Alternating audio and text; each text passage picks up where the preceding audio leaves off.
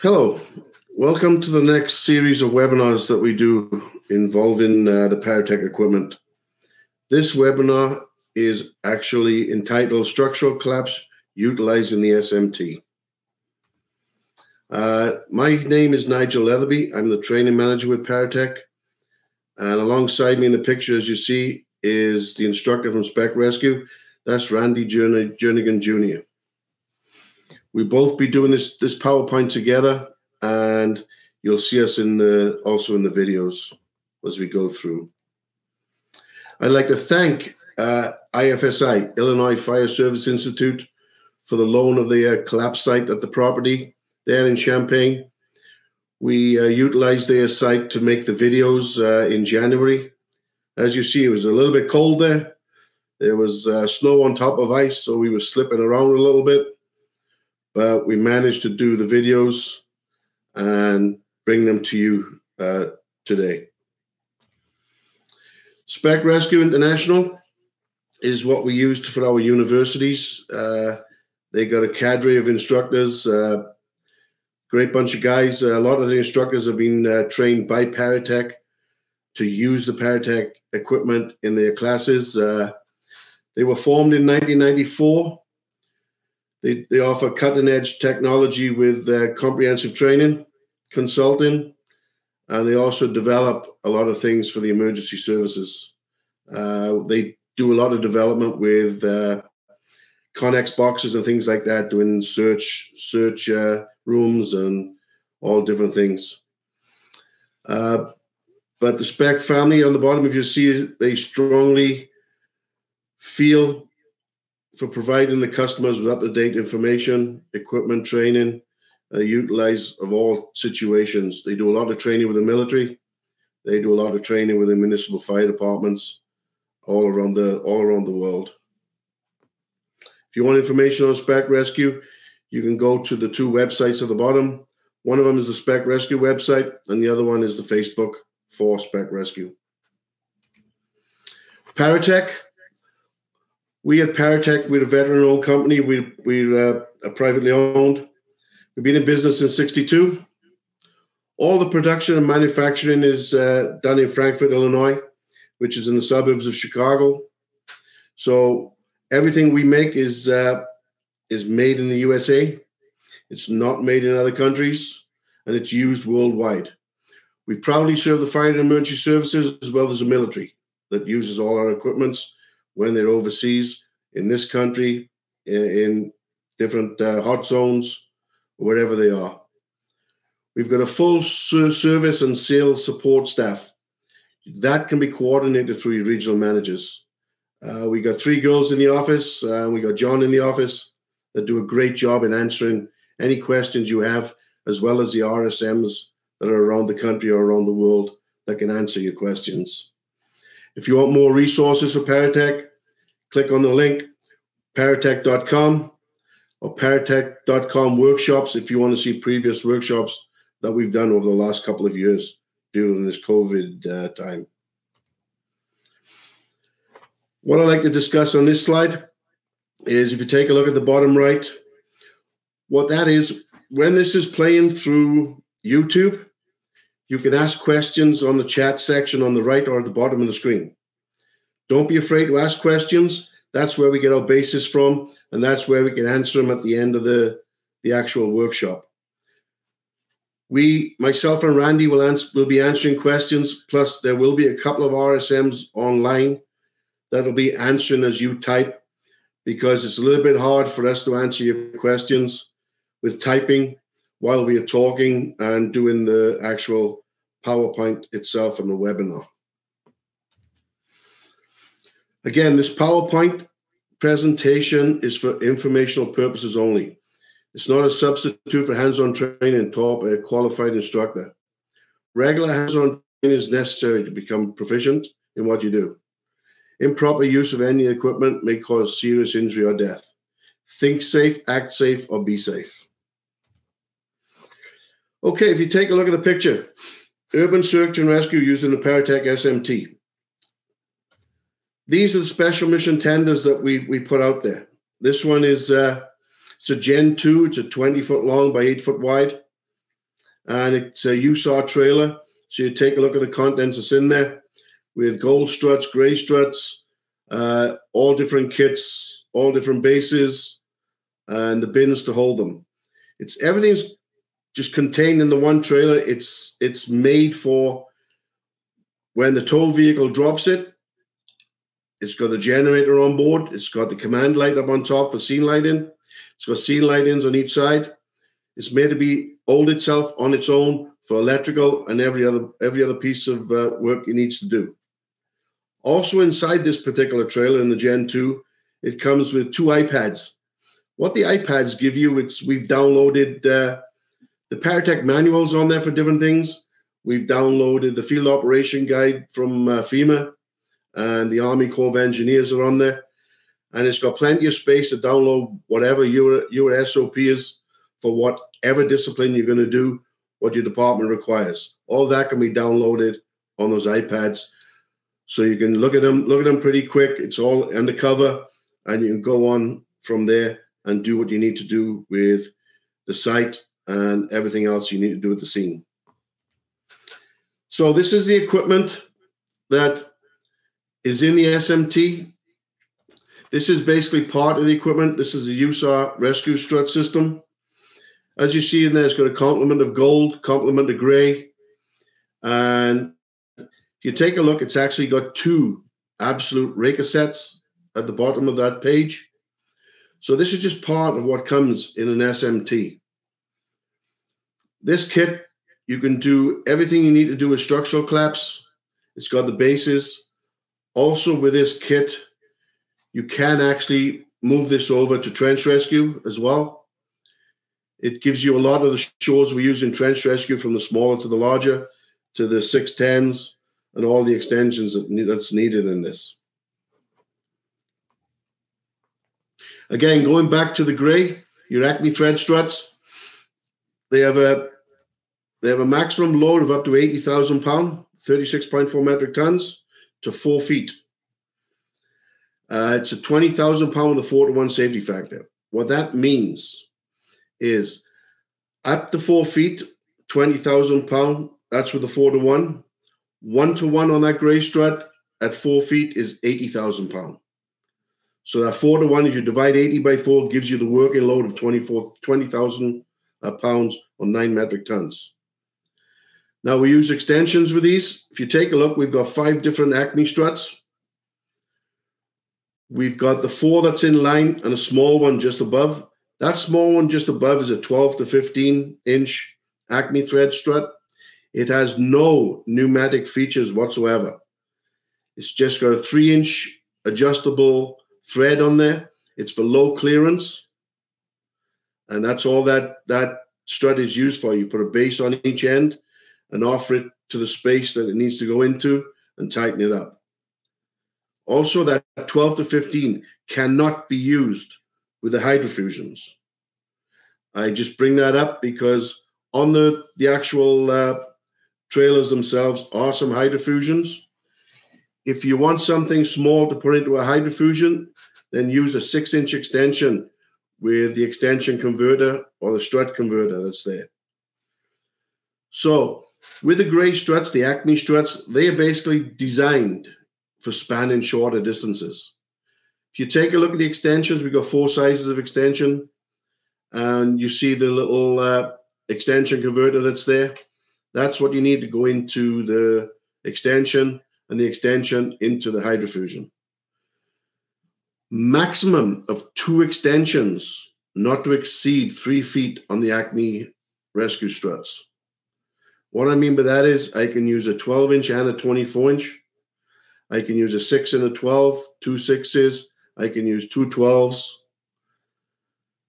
I can't use any more than that to put onto the struts to exceed what the label says for the maximum allowable extensions on that strut for the length and the capacity. So we've got a rule of thumb with this. We've got a one, two, three rule on the Acme thread struts. One struts, two extensions, not to exceed three feet. Next thing we got in the equipment on the, the trailer are the longshore struts. Longshore struts you see there, We've got five different sizes, ranging from two feet up to 16 feet. Uh, we've got four sizes of extension,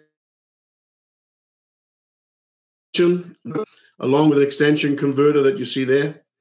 These were designed to span longer distances. The designed capacity on the longshore, the gold struts, is the same as the gray, maximum workload of 20,000 pound.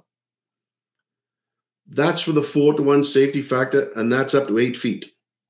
Again, going back to the to the calculations, maximum to eight feet, one to one is 80,000 pound. Divide your 80 by four gives you a 20,000 pound workload at a four to one safety factor. There are pneumatic fittings on all of the longshores. So every one of them will accept a hose. So you can actually use them in structural collapse. You can actually use them in trench rescue and also the vehicle side. The rule of thumb with extensions on the, the longshores is the maximum of one extension per strut. And remember, on both Acme thread struts and the longshore struts, the extension always goes on the solid end of the strut, never on the Acme thread moving end of the strut. Or if you take a look at the extension and the strut, the bottom of the extension has got the step down, the strut's got the step down. That's where the extension goes on. Also, it's got a yellow ring at the top of the extension and you see there's a yellow ring on the step down of the actual longshore strut. That's where the extension goes. Just a little little trick of the trade with extensions. Uh, some people do get it wrong, and the biggest problem is if you get it wrong, then all the load is relying on that little lock pin that sits into the hole in the, the threaded shaft of the strut.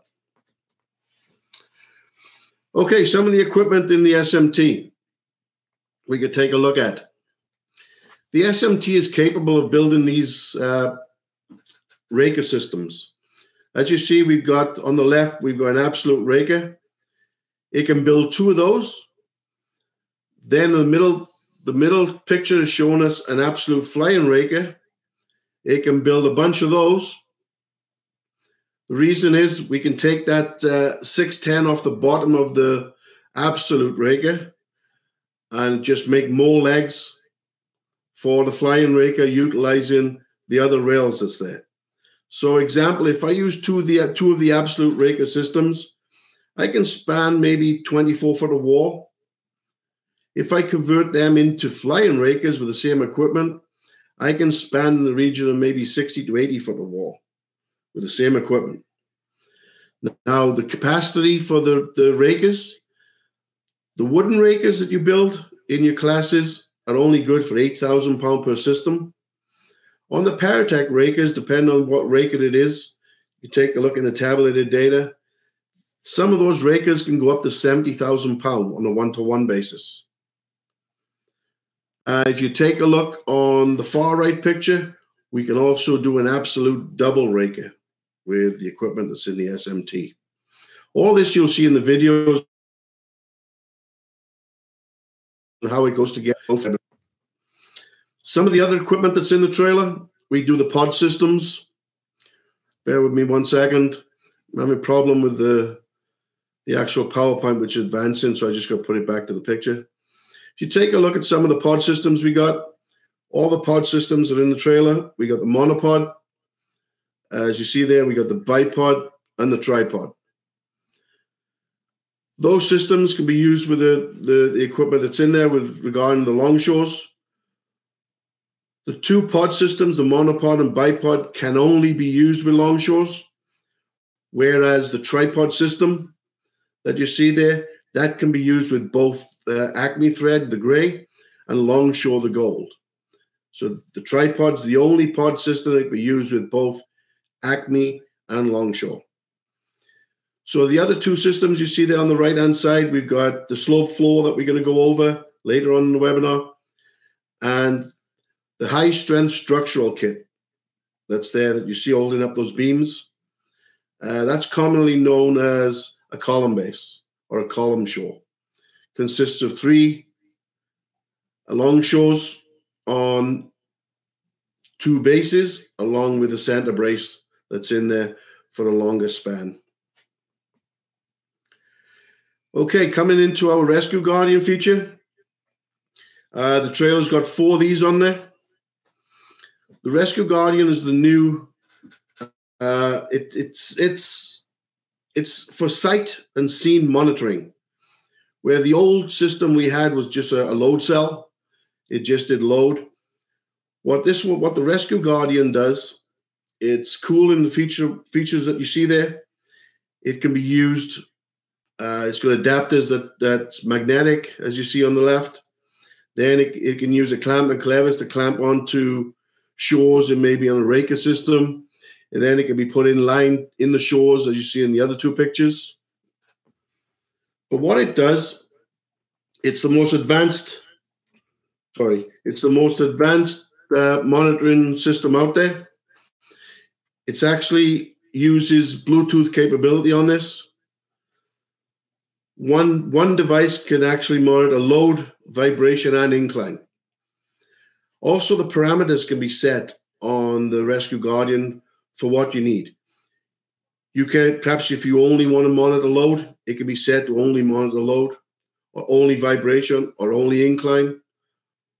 Or you can do the option of monitoring load and vibration, load and incline, vibration and incline, load and incline. It doesn't make a difference. You can set up the parameters to do whatever you need with this. It will remotely monitor 10 rescue guardians off of uh, one device.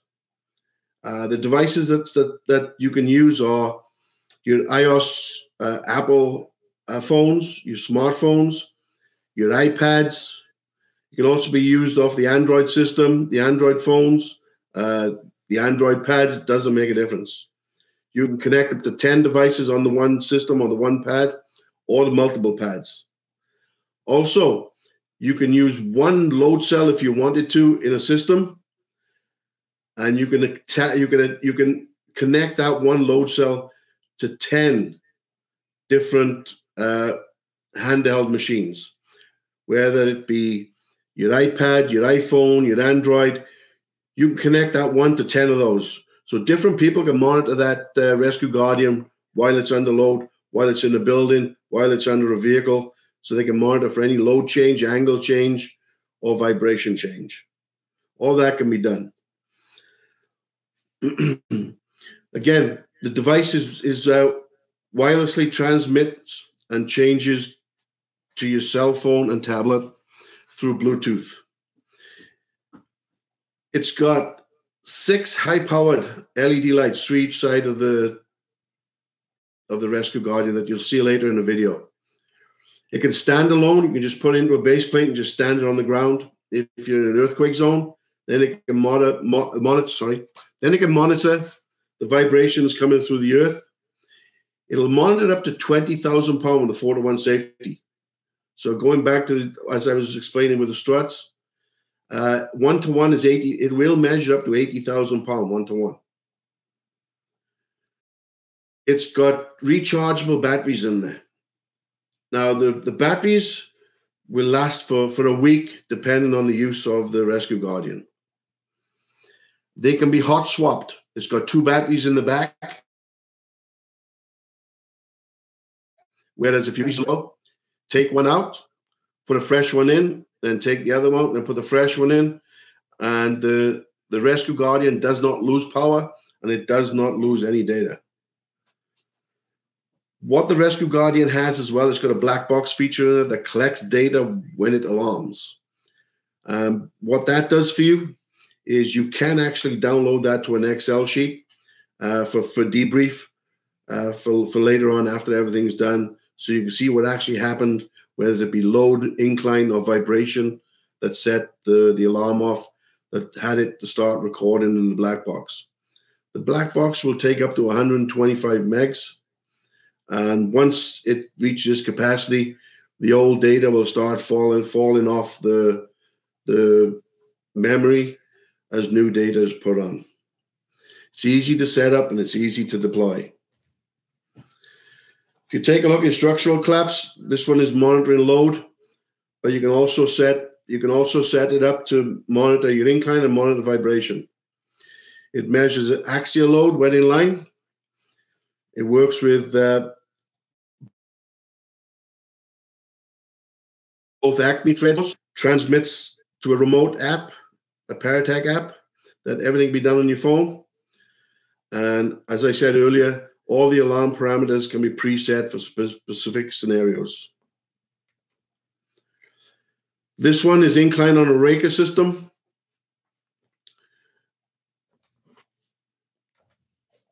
And what that does, it's in, it. This one it will monitor the same as the other the the other one, the previous one. This one is monitoring load. It'll also monitor the incline of the Raker, and it'll also monitor vibration if you want to set it up for vibration. Again, I, I already spoke about the black black box feature with this. Next one, these ones are set up for, for vibration, incline. All the vibration setup is it's set on a, a hertz parameter. What it does on, on the, the, the, the Rescue Guardian is the setting for your vibration, for example. It's got a low, medium, and high setting on the Rescue Guardian that your basic end user can use. Uh, in an earthquake zone, you're going to tend to set that to low. Uh, medium, you may want to do that with a, with a with a vehicle or something like that, something that's going on. On high, high will pick up everything that that that's going on in the scene. Uh, if someone's using a hammer, knocking a nail in, then it's going to pick that up. It's going to pick up jackhammers. It's going to pick up vehicles driving by or on the scene, generators on the scene. It's going to it's going to pick all that up on a high setting. So you want to take a look of the capacity, the different capacities of this, and the parameters of your vibration with low, medium, and high. Again, the low setting is going to be used for your your earthquakes and things like that. Now, the other thing this has got on vibration with a, there's a little toolbox feature there.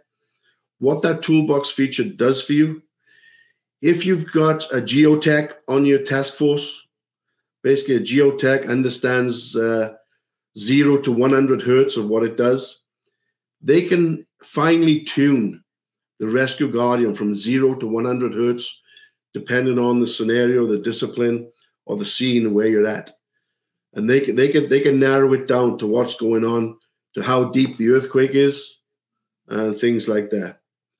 So, with that, when using the multiple units, they can monitor vibration in different parts of the collapse and they can be set up. You can name these. If I've got 10 units in a building, I can name them 1 to 10. Or I can name them uh, west wall lower, uh, basement west wall. So I know which one of one of the guardians are doing what, and that will come up on your cell phone where you can change the names of the different guardians. So you can actually monitor different parts of the building that these, these guardians are actually trying to protect the rescuers in. All the alarm parameters, as I said earlier, can be preset for specific scenarios. You can come in and preset preset this before you get there. Preset the parameter to I want this if I'm if I'm uh, if I'm monitoring load in a collapse uh, building. I want to monitor this. I'm to set set the rescue guardian to alarm a thousand pound over a parameter I'm going to set. So if I set this in place and I put on the rescue guardian, rescue guardian is going to come to zero. I've already set my parameter a thousand pound. What that does, if my load goes over a thousand pound, that rescue guardian is going to alarm. Again, with incline, the same thing. I'll set it up. It's all in place. I'll hit the power buttons to go on. Rescue Guardians are going to come on, and I'm going to set my parameter for say 10 degrees. So now my Rescue Guardian is going to alarm if it goes 10 degrees one way or 10 degrees the other way. In or out, it's going to alarm on that 10 degrees. And so on and so forth for the vibration. So that's it for the equipment that comes with your, your SMTs. Uh, I'm going to put this over now to, to Randy Journigan from Spec Rescue. He's going to explain more about the actual applications, and you're going to see some videos of how the applications and, and the, the equipment get set up through different scenarios and different disciplines that we use in structural collapse using an SMT. Again, my name is Nigel Letherby. I'm the training manager for Paratech. Thank you for, for attending this webinar, and I'll see you in a little bit. Hi, my name is Randy Journigan. I'm with Spec Rescue International. Today, uh, we're doing a webinar with Paratech that's going to discuss the pneumatics, mechanical shores, and integrating that to how we're going to come back and do our wood shoring. Uh, just a little bit of background I'm a SES instructor, lead instructor. I'm also a lieutenant on a heavy rescue in Newport News. So we're going to start today with why we shore. So something's going on, uh, whether that be man-made, disaster, uh, old age of the building. Something's gone wrong to this building to where we now have a collapse that we have to mitigate. Uh, old old adage of if there's no life at threat, uh, we don't do shoring. That's that's incorrect. Uh, we do shoring for investigations. We do uh, shoring for OSHA have to come in and do their their part after a, a fatality or a uh, a workplace event. Uh, we also should consider shoring for property conservation as well.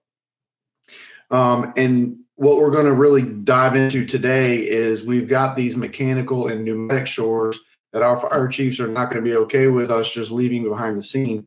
And some of these shores could be there for days of months um, while investigations are going on. So we really need to uh, put these mechanical shores up, which will allow us the safe area to then uh, come in and build our permanent wood shores around them so the area is safe while we are uh, the rest of our uh, mechanical shores back so that we're ready for the next call. So going on to the next slide, uh, everything we do in shoring, no matter whether that be the raker shore, the window shore, whatever shore it is, we're going to operate under the double funnel principle. So we need to collect the load from where it was originating and where it's trying to go now, and then disperse that load down through a post or a raker and distribute it, redistribute it back to the sole. Everything's going to go back to gravity. Everybody, everything results in gravity, so everything eventually is going to come down. So what we're trying to do is is control that and prevent the gravity from from doing its part, and us use our post or our rake to redistribute that load back through where it would like to be, which is the ground. So uh, whether that gets distributed between a sole plate, a trough box, a whaleback system, that's all going to be dependent on the type of shore you give. Something else we need to have in every one of the shores we build is we need adjustability and positive connections. Connections um, are going to be guts, braces, all different types. We need to have that uh, securing uh, feature in there so that we know we're actually controlling the load how we want to. Uh, we also need lateral bracing. So we want these shores to be built so that they're not, they will resist uh, some lateral forces. They're not as strong laterally as they are in compression, obviously, but we want them to uh, not buckle on us. And how we do that is to use lateral bracing. And the last thing is we need to have forgiveness in our shores.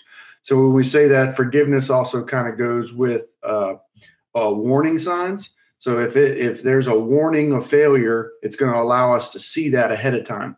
That's one thing the mechanical shores don't do that well on. That once we put our permanent wood shores in, we will be able to uh, with wedges or the headers. Those mechanical are all metal and they're very very strong, uh, but they they don't give us that uh, little bit of forgiveness or that that warning sign to failure that wood does. So let's start right in raker shores because the sequence that we do, and you'll see here today, we're going to shore from the outside in. We don't want to enter the building if the building is leaning out, uh, racked, or it could fall on top of us. So that doesn't always mean you have to rake or shore up, but it does mean that if you are going to enter the side where the building is leaning out, we want we need to shore that before making entry. So raker shores. Um, in order to use the pneumatic or the mechanical shores, you're going to have to have some special pieces um, to, to make this work. So those special pieces are listed on the PowerPoint there. I'm not going to recite them all to you. Um, and we'll get into them as we go. But uh, there's a few pieces in there you don't have an addition to, you can't uh, build the raker shore. Um, key to this is we have to anchor our base plates, whether that be through a uh, whaleback system or driving pickets directly through the plates. Uh, there is a steel angle that goes under the base plate that we can use so that the whaleback systems will work. And these systems can be used with a horizontal and diagonal two by six bracing. So you don't have to be, and, and what we're going to get into in a minute is called the absolute. It can be braced with wood as well. One thing I want to make sure you understand is that no different than as a wood shore, you're going to need to pin these to the wall. Uh, these are going to be even worse for the, the walking up the wall that you, you will see with wood if you don't pin it but we have this uh, nice slick surface on the backside of those raker rails. The moment you put a little pressurization to it, it's definitely going to walk up that wall. Um, it's definitely best to use in a, to initial initially shore the building by putting this in, and most people can put one of these systems in after a little bit of training um, in approximately 10 minutes. Uh, putting this system in for 10 minutes is well worth the time it takes you to build your wood shores because you now know you're doing it safely. Uh, we actually get started into the building of each one is use midpoint brace and double X bracing for Rakers over 11 foot. And that's uh, not, not the insertion height that we're talking about. We're talking about the raker length itself. So you can see here we have two examples of uh, rakers. The one on the left is built with all uh, pneumatic shoring, and the one on the right is used with wood cross bracing. Uh, so we do have the, the horizontals and the diagonals provided there with uh, wood and basically get a nail pad and you place your wood in the same way you do with the wooden ones. The one on the left, we have uh, some B57s that are replaced. And if you look at the, the top, middle, and bottom, those are B57s. Those B57s control tension and um, compression. So you have to screw them in and out. They don't operate the same way a strut does because it's controlling that lateral force for us by having that in place, now we're holding our raker uh, from buckling left and right, uh, leaning either direction. We also have the uh, diagonal shores in there, which are also B57s, and they're helping that load. Uh, pictures of a double raker. The one on the left is a double raker. It's absolutely possible to build, and it's definitely going to save you time when you're coming back in to build your wood one around it. And the one on the right is saying that we have less than an 11 foot raker, and it shows you a configuration where you can use all pneumatic shores uh, and not have to use wooden ones too. So if, as long as that raker's under the 11 foot mark, you can get away with just on a bottom diagonal brace. So flying raker, uh, the flying raker has been taken. Uh, I don't want to say taken out of the FEMA manuals, but we're starting to go away from them with wood. Because of the split sole. By having the split sole in there, you're basically um, eliminating the need for a flying raker. That is not the case when it comes to the pneumatics. So with the pneumatic or the mechanical shore, the flying raker is definitely a temporary shore. And you'll see on our PowerPoint where it says it's still operating at the thousand pounds. That only applies when it's one raker arm itself. So if we have one side of this raker system, that is going to have a thousand pounds. If we put this system together, as it is in the picture, once it's completely braced, you get the exact same weight rating as if it were a solid sole. So those uh, those numbers are on the raker rails, or they'll be on uh, a, further slide in the PowerPoint when we get to it.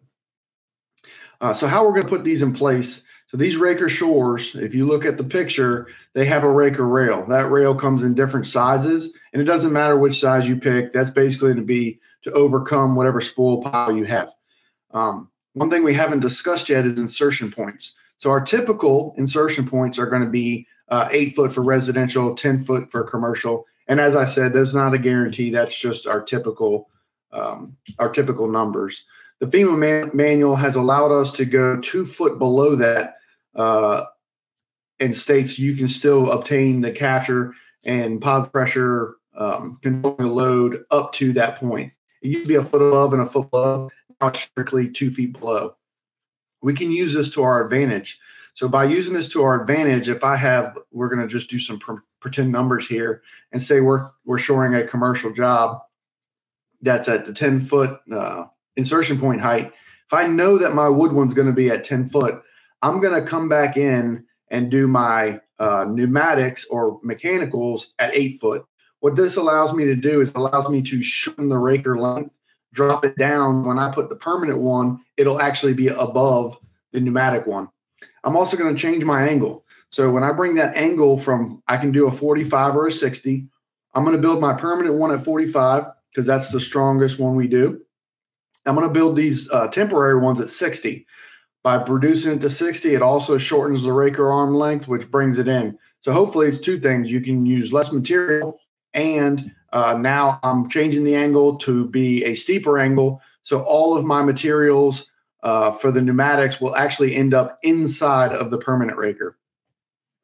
So by changing the angle to 60, that, that shortens us up as well. We also know about raker spacing is I can go a maximum of eight foot wide. I had eight foot wide on my permanent one. I'm going to build my temporary or my mechanical raker at six foot. So by coming to that six foot, it lines you up perfect for the B57s, which is a brace from five to seven feet. So that six foot falls right into that window. When I put the clamp and clevis on each side, I end up almost right at that six foot mark. Being at that that range, I don't have to thread the collars out as much, and I'm now allowing both rakers to be built on the outside of my mechanical rakers. So I can have my system almost completely built before I think about taking anything down. So one thing we don't want to do is pressurize, then depressurize, then repressurize this building. So once we get capture on the building, we want to maintain capture. So we're going to capture with our pneumatics or mechanicals. Then we're going to put our permanent wood one around it, capture with those, and then we will DC or take down our uh, mechanical shores on the inside. So let's get into how we build this flying raker. So we're just going to do one arm, uh, and you'll uh, just uh, fall with me on. You'll do the second one the exact same way. So the first arm, we've got our raker rails. On the side of those raker rails, you'll see holes. With the exception of the very top of the very bottom hole, those are six inches apart. That way, if you joined two rails together, they would be the foot apart that every other hole is. So if you look down the side of the rail and you look at in between holes, they're going to be they're going to be that one part. So what I do to determine my angle first, okay, is I'm going to take the rail latches. They're pieces that uh, come with the Paratech kit. You'll place that into one of the holes, and let's make that your top hole. So in the top hole, you then you'll skip two open holes, place the rail latch into the third hole, and that will give you a 45 degree raker. If you skip three holes and place the rail latch into the fourth hole, that will give you your 60 degree. So we're going to do the 60 degrees. So we've skipped three open holes. We've placed our latch into the fourth hole. So now we're set up with our raker rail. So now we have up with our uh, raker length. So if I have a 10 foot insertion point and I'm going to come down to the eight foot, like we said, we're going to reduce it. I'm going to go to my calculator because this isn't a math class. Uh, so I take my multiplier of 14, I multiply it by my insertion height is 112 inches. Divide that. So 9 3 would be our rake arm length. The beauty of the mechanical shores is we can get close to that. So if I'm at nine foot or I'm at nine and a half feet, it may change my angle some, but it's not going to be a deal breaker for us. So I'm going to pull out of the 610 barrel, I'm going to pull approximately three feet out and I'm going to put it into my base plate. That base plate is going to be your standard 12 by 12 base plate that's got the D ring and the carry handle. Make sure the carry handle is facing the building. That way, if you wanted to come back behind these and place that angle that we talked about at the beginning, that piece of angle iron, and put it in there, you could put that in and put an entire whaleback system behind these rakers. So we've got our raker attached. The one piece we're missing now is the B23. If you look closely in the picture on the right, you can see on the bottom there's a B23 there, and that is a brace that's two to three feet. That gets put into the bottom latch. The raker goes into the top latch, the B23 goes into the bottom latch. I want to leave that B3 completely collapsed. And once it's completely collapsed, I leave it at a 90 degrees and then connect my raker arm to the B23 and I clamp it down. When I clamp it down in that formula, so I have the B23 out, I have the open holes on the side, and I have my raker arm coming out, I should have a right triangle. That right triangle, if we've done it correctly, should be uh, the angle that you're looking for for your raker, whether it had was the 60 or the 45. You can see by playing with it, if you go two open holes, you can see how that would push out that raker arm a little bit, which would give you the 45 degree. By coming that one extra open hole, it brings it in a little closer because you've dropped it down one foot, which will give you the 60. So we've built one arm of the of the raker. We're going to place that to the building. So somebody's got a stand bag, line it up plumb level square. We we place it into the building gently. We don't want to hit hit the building in any form or fashion until we have this nice and secured against the building. Goes against the building, then we're going to pin it. I'm not going to get into pinning it today. There's so many different ways to pin it. It could be uh, drilling through masonry, placing some rebar. It could be wedge anchors. You could be putting a backer board on there and screwing it to the studs that are there. if you check your FEMA manual, you'll you'll see that uh, there's plenty of opportunities for you to figure out how you're going to secure that to the building. But it needs to be secured prior to pressurization. So how we're going to pressurize is we get our Paratech hammer and we're going to spin the collar. We're not trying to lift the building or right the building. We're just trying to give it some good, uh, stable capture. So give it some uh, mechanical advantage by using the Acme threads with the Paratech hammer to secure it nice and tight. Once that's achieved, excuse me, I did this one step of securing the base plates. So we need to secure the base plates by it being a whaleback system, or as you see in this picture, they've got the 12 by base plates. You can drive pickets directly through there. For soil, it's probably a better idea to place a whaleback system behind it so you can spread your pickets out. Because for soil, you're going to need four pickets per raker. So in these pictures here, you would see a total of eight, not four. Um, if it's on uh, concrete or asphalt, you can get away with two pickets. Um, be cautious of the asphalt on a hot July day in Georgia. Uh, the asphalt gets a little spongy. You might want to treat that a little bit more like soil. Uh, so you've done all that. We've been able to pressurize this. We're going to go ahead and set the second one in place, do the repeat the same actions, and then now it's going to come time for bracing. If that raker arm's over 11 foot, you are going to have to put three of these uh, horizontals on. If it's under, you can get away with two, like we discussed in the other one. Um, but in this particular picture, we've put three in. So if you have three, I like to put the middle one on first. To put the middle brace, thread it out. We're not trying to push these apart. We're just trying to capture them. So once it gets to the point where it's nice and tight, go ahead and clamp them down.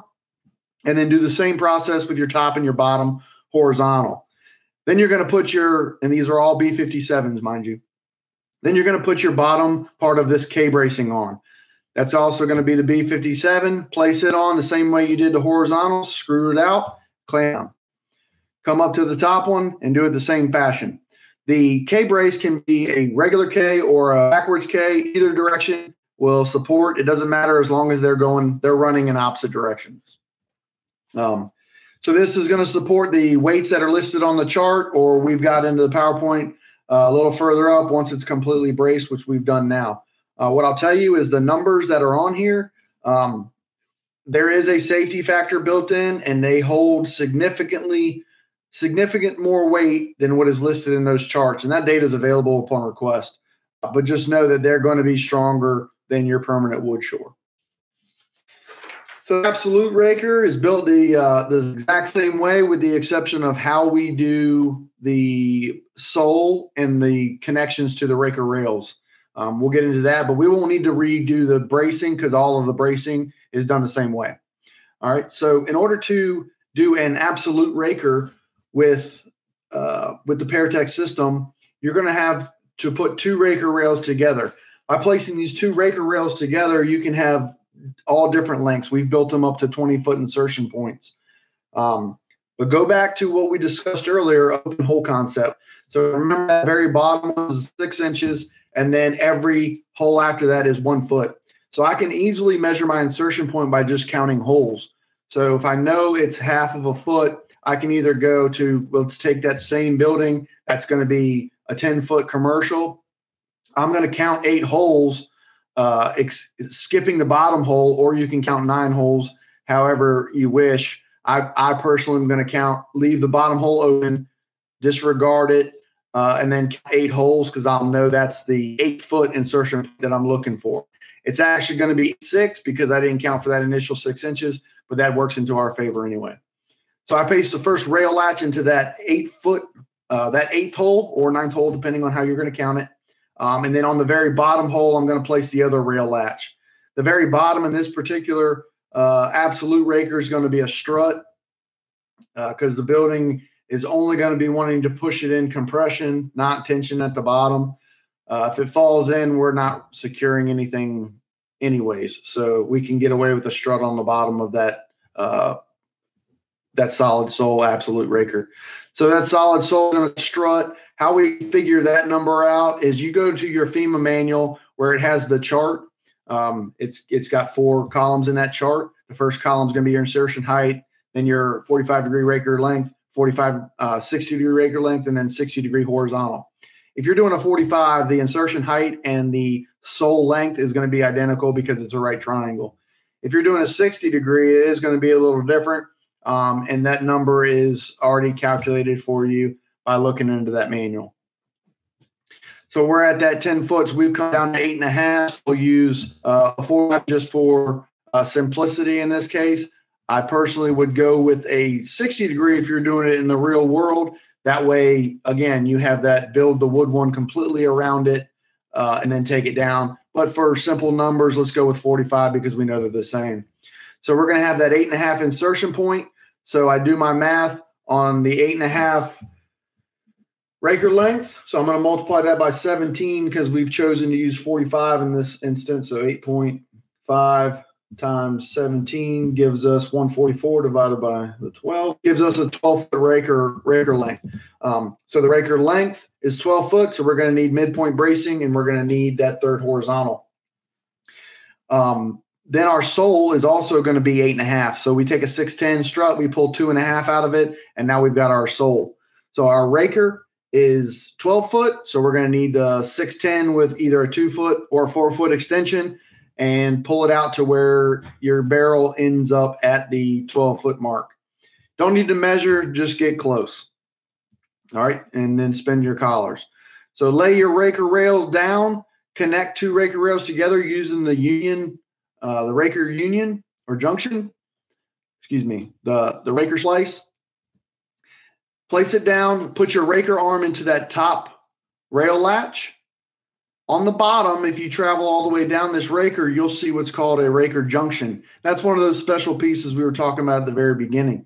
That junction has a swivel cup that will receive the end of the raker, and then it has a big boxy, uh, box looking structure that's got the word sole written on it. That's where you're going to place your sole. And this allows you to swivel in any direction to create that angle that the top is looking for. Uh, connect your bottom, make sure you spin it and make sure it locks tight because inevitably what happens is we pick this up and it falls apart because then lock the pins. So we're going to put both of those in, uh, lock the collars, get them nice and tight, place our base plate onto the bottom of the raker junction, which will then uh, complete that raker. Uh, slide it into the building just like you did your flying rakers, pin it to the structure, give it the pressurization, um, secure the base plates, make sure they're tight, then uh, do your pressurization, and now you're good to go. Um, do the, the, the second one the same way you did the first one, and then brace it just like we did the flying. The weights we talked about, um, don't need to get hung up on, but as you can see, the higher you go, the weaker it gets. And mind you, all of this has that four to one safety factor built into it, and it actually holds much uh, much stronger than our wood ones are designed for anyway. There's 45 and there's 60. You can see the 60 is slightly uh, less in weights than is the 45, but still holds a good amount of weight. We have a raker video for you.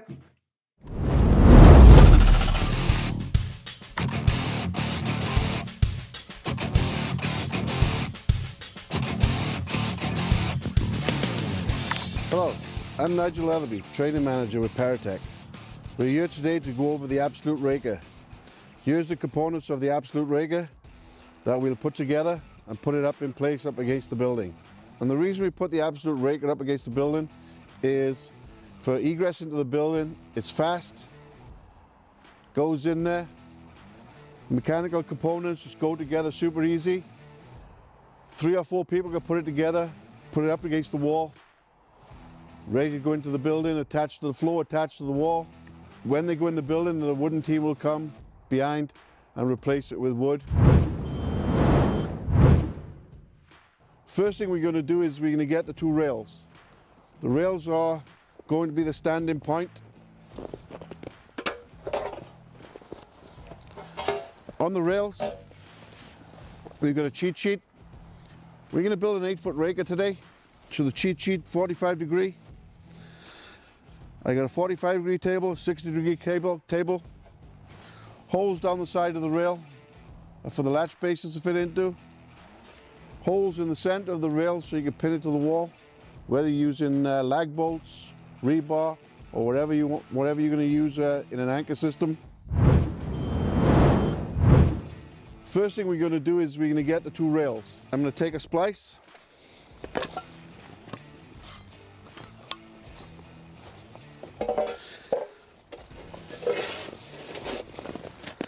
Splice is just here to join two rails together. Splice goes in, pull the pin, make sure it locks in place. Second one goes in, I pull the pin and make sure it locks in place. Rails go together super easy. Now we're going to tilt the rail on its side. Then we're gonna have two cups or latch bases. One's going to go to your sole and one's going to go to your insertion. I'm to put this on the sole. So this is uh, Going to go to the base, the bottom hole of the raker. And then we're going to count up eight holes. That's going to give us a seven foot six insertion. What that does, it keeps me within that two foot window below the insertion point I need to be. And we can start building our raker. With an eight foot raker. I'm going to take a look.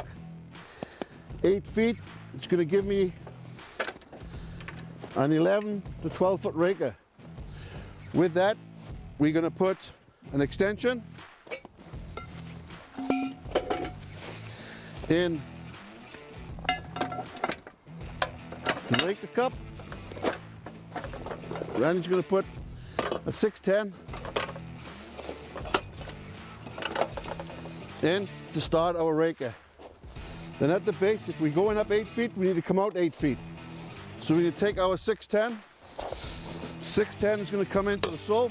Spin the collars out slightly so you can, you can grip onto the thread. Our junction base is going to come on. Make sure it clicks. On the junction base you'll see there's a rotating cup. A solid piece has got the word sole on there. Solid piece with the word sole goes to your sole strut. Then your raker strut will go into the other piece. Make sure it clicks. Ready for our base. When our 12 inch base goes on, make sure that the silver anchor ring points away from the wall because then when it's up onto the wall, our angle plate will slide in and the notches will, will fit where the holes are in the base. So now this one's ready to go into position. We need a couple more guys in here to lift this into position. Okay, so we're going to carry the, the raker in. The base of the raker rail is going to go against the wall. When it's against the wall, going to foot, foot the rail. I'm going to put it up into place. Tighten the collars up. Come in with the angle plate. Angle plate is there for your 6x6 whaler that comes behind the plates. That can be pinned to the, to the ground. The hole's going to be pinned to the wall. Some of the reason why we use an 8 foot insertion point in this particular structure, you've got the floor joist set at 10 feet. And with the collapse, it's pushing out a bit. So it gives me within my two feet of distance below my insertion where I can put the, the raker in. And what that does for me as well, by utilizing that whole two feet, when I build my wooden raker around it, my wooden raker will be at the point it needs to be for the insertion without taking the mechanical raker down until it's fully built. Now we're gonna go and build the second leg. Put the leg on this side, and we're gonna cross brace it. That will work. So all we're doing, we're making the legs perpendicular to the wall, make sure they're straight and plumb. So when we put the cross bracing on, it'll be all symmetrical.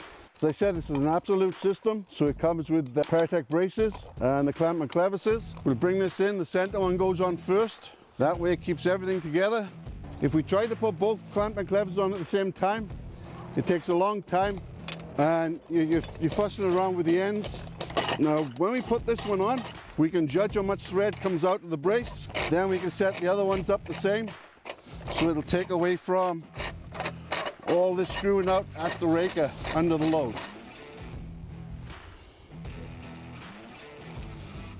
Now the bottom brace is actually going to go on the thread of the struts. Because it's an Acme thread, it's a square thread, it's not going to damage the threads. Now this brace is going to be for our bottom diagonal. Now the top brace. Now for the top diagonal. As we assemble the rakers and we put the legs in one at a time, we're going to pin each leg. We put two pickets in each base of the leg, each leg. Drive it in three feet to hold uh, the raker in place. Then on the rail, on the wall, we're going to anchor the rail to the wall using lag bolts, uh, rebar, anchors if it's concrete, concrete anchors, going through the holes in the rails. Six by six whale is here, where we can go behind the whale with a picket also ready for the wooden raker to come on each side of the aluminum raker with the cross brace up against your whale, pressurized and tied in. When the raker is tied into the wall on the base, we'll pressurize both raker and sole. So it keeps it tight to the wall. And the Rescue Guardian is in line with the raker to monitor any movement in this building.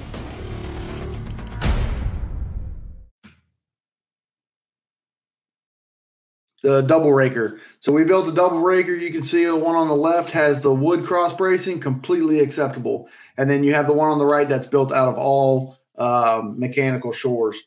Uh, how we're going to do that double raker, it gets it does get very heavy. This is going to capture the most uh, two-story residentials, or we can get close to the two two-story commercial out of this. Um, but it requires a lot of equipment and you're going to need multiple people to uh, multiple crews to help set this in place. Basically, treat this as two separate rakers that you're putting together as one. Go ahead and do the exact same math you did for uh, any other raker. So you'll take your top floor measurement, you'll build your long arm of the raker on that one. The one difference you have here is you need to configure uh, for both floors with our attachments because we have to be able to, if you look into see if I can get my cursor into this section here. That needs to now be a brace. It can't be the strut that is in the bottom fashion uh, because we're preventing deflection here because our raker's a little too long. So that needs to be a brace. And how we do that is you measure just like you did for the sole and the solid sole, whatever that measurement is, you're going to take from uh, from here. Okay, so treat this distance in between the top of one raker to the top of the next raker as an independent system and take this as your horizontal. So if this is that 10 feet, this is going to be whatever 10 foot, 60 degree horizontal is going to be. All right, your chart will tell you make this piece, which has a brace in it and can also take a uh, an extension if need, make that connection uh, the correct distance. That way, your raker is the correct angle you're looking for. After you get that set, then you'll go ahead and have your bottom one in. There's one other special piece that's right here. That's called a rail junction. That rail junction will connect to the raker rail and then uh, also connect the brace and the raker of the bottom raker. That rail junction has the same configuration, has a cup and then a boxy structure. That boxy structure right sole, and that's intended for the sole of the upper raker. So then you'll uh, get all of that set up, uh, put the one in, Again, this requires multiple hands as they're very heavy. You're probably going to want to get it close to the structure and do like a beam raise on it, raise it up to the left, left or right, depending on which way you're going. Slide it into place, secure it all down. Brace this I, I, exact same way you do the other ones. Treat them like two independent rakers and put the bays in and the cross bracing as you need. Um, exactly how we did all the other shores.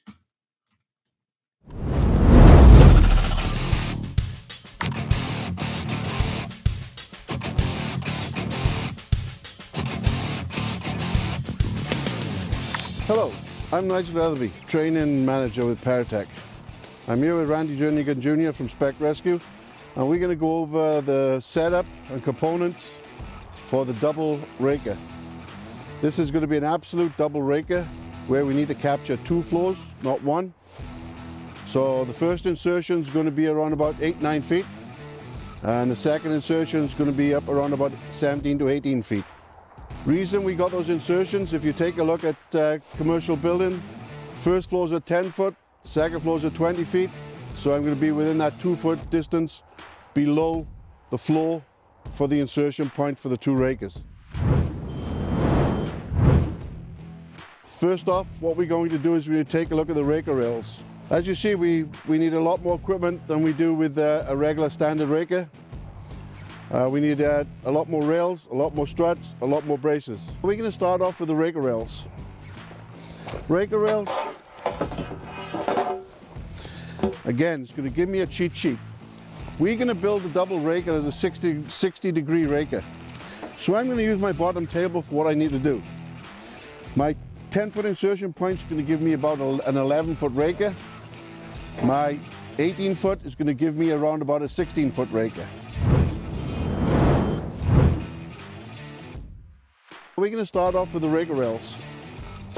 We're going to build this, we're going to put three rails together to give us our height we need for our two insertion points. So with our three rails together, we're going to take a look at the sole strut and the two insertion struts. So my sole strut is going to go in my bottom hole if I haven't got any debris against the wall. That's going to be my insertion for my outer raker. For my inner raker, I'm going to need my rail junction. That's going to come up to six, seven, eight. We're gonna set up our outer raker, then our inner raker. Now my 610 strut's gonna go in. Then we're gonna come in and build our inside raker. When using this rail junction for my double raker, the one with the word sole goes to my lower raker. Because that way everything's in line. This then will come across so a brace can hit the outer raker. I'm going to have a junction on my inner raker. To join the outer raker to the inner raker, we're going to put a two foot extension with our smaller B23 brace. With our two legs set, we're ready to carry the double raker into place.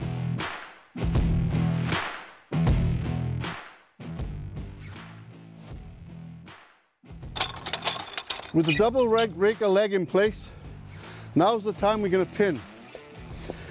We need to put two pickets in the bases for the small raker, inside raker. Then we're gonna put two pickets in the base for the outside raker to hold it in place. In that time, the rails are gonna be attached to the wall with either lag bolts, uh, concrete anchors, or whatever you've got to anchor that to the, to the wall with your rebar, things like that. When the pickets are in place and the wall anchors are in place, we need to pressurize the system.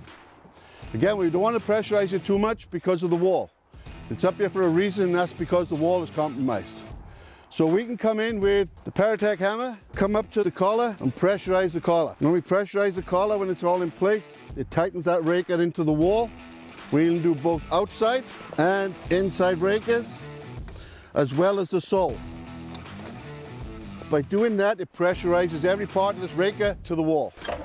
Now we build the second one, put the second one alongside, and we'll brace the rake.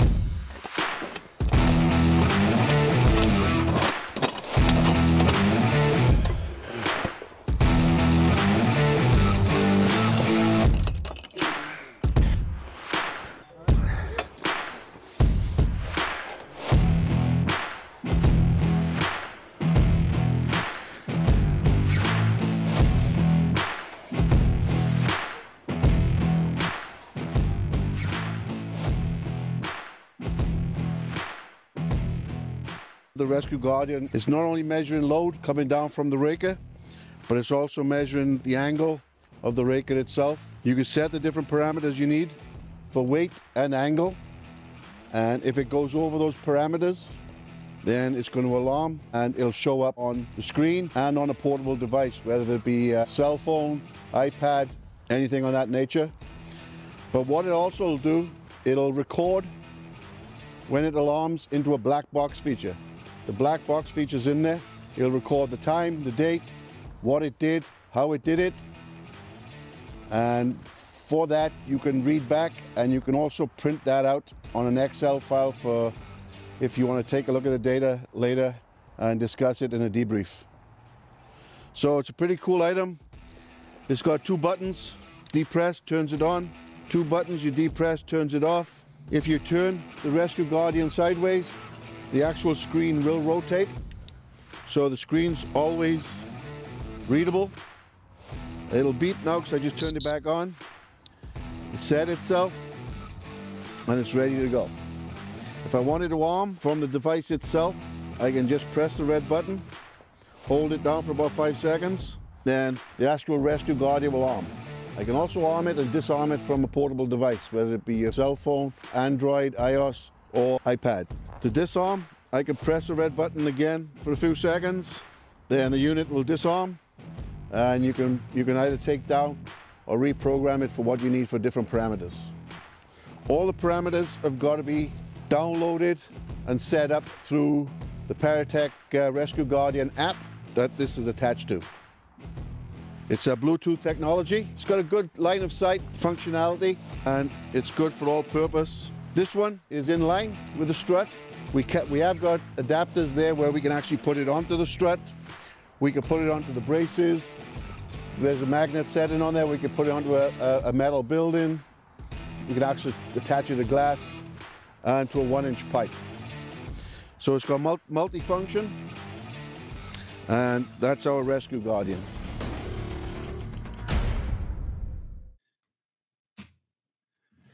Moving on to, so now we've secured the outside of the building and we can push into performing a window or door shore.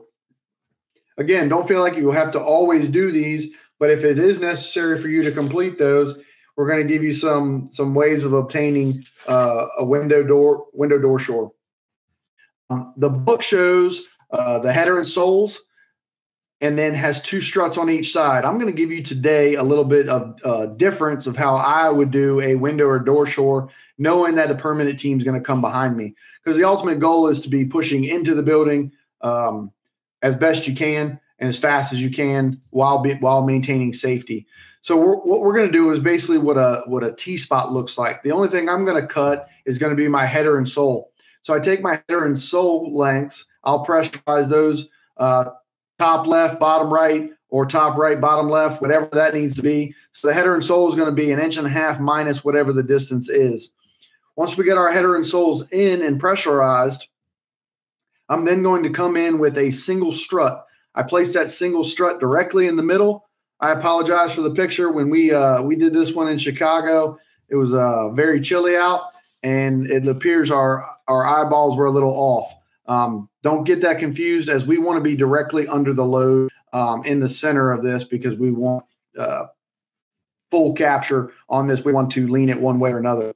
Once I place the header and soles in, I'm going to then come in and put a U channel at the top place my strut, put the collar down to the bottom, which is going to go to a fixed base. Once I connect those, then I'm going to uh, nail with uh, 16 penny nails most of the way in and then fold it over. Don't drive it all the way in because things can happen to where that nail hole will, the nail can then be pulled through that hole because it's um, just the right size. So go ahead and bend it over to secure it in place just like you do your trench shoring. Once that's in place, then we'll provide our uh, mechanical capture using the Acme thread, spin the collar with the Paratech collar, and that'll give us the capture we're looking for. What this does, this allows me to come in on either side of that um, Paratech raker and put my permanent wood bracing in. So with the Paratech raker in, securing everything in a matter of a minute or so, then I can me- take my measurement uh, for my my posts, subtract my inch and a half off of that number, go ahead and pressurize and then complete my wood shore how I do uh, normal wood shoring. Uh, but for this, you can see by placing that single strut in there, it gives me time to come back in to do the permanent wood shore. Now I can have crews inside working on the next shore while we have uh, the second crew coming in to build the wood one around this.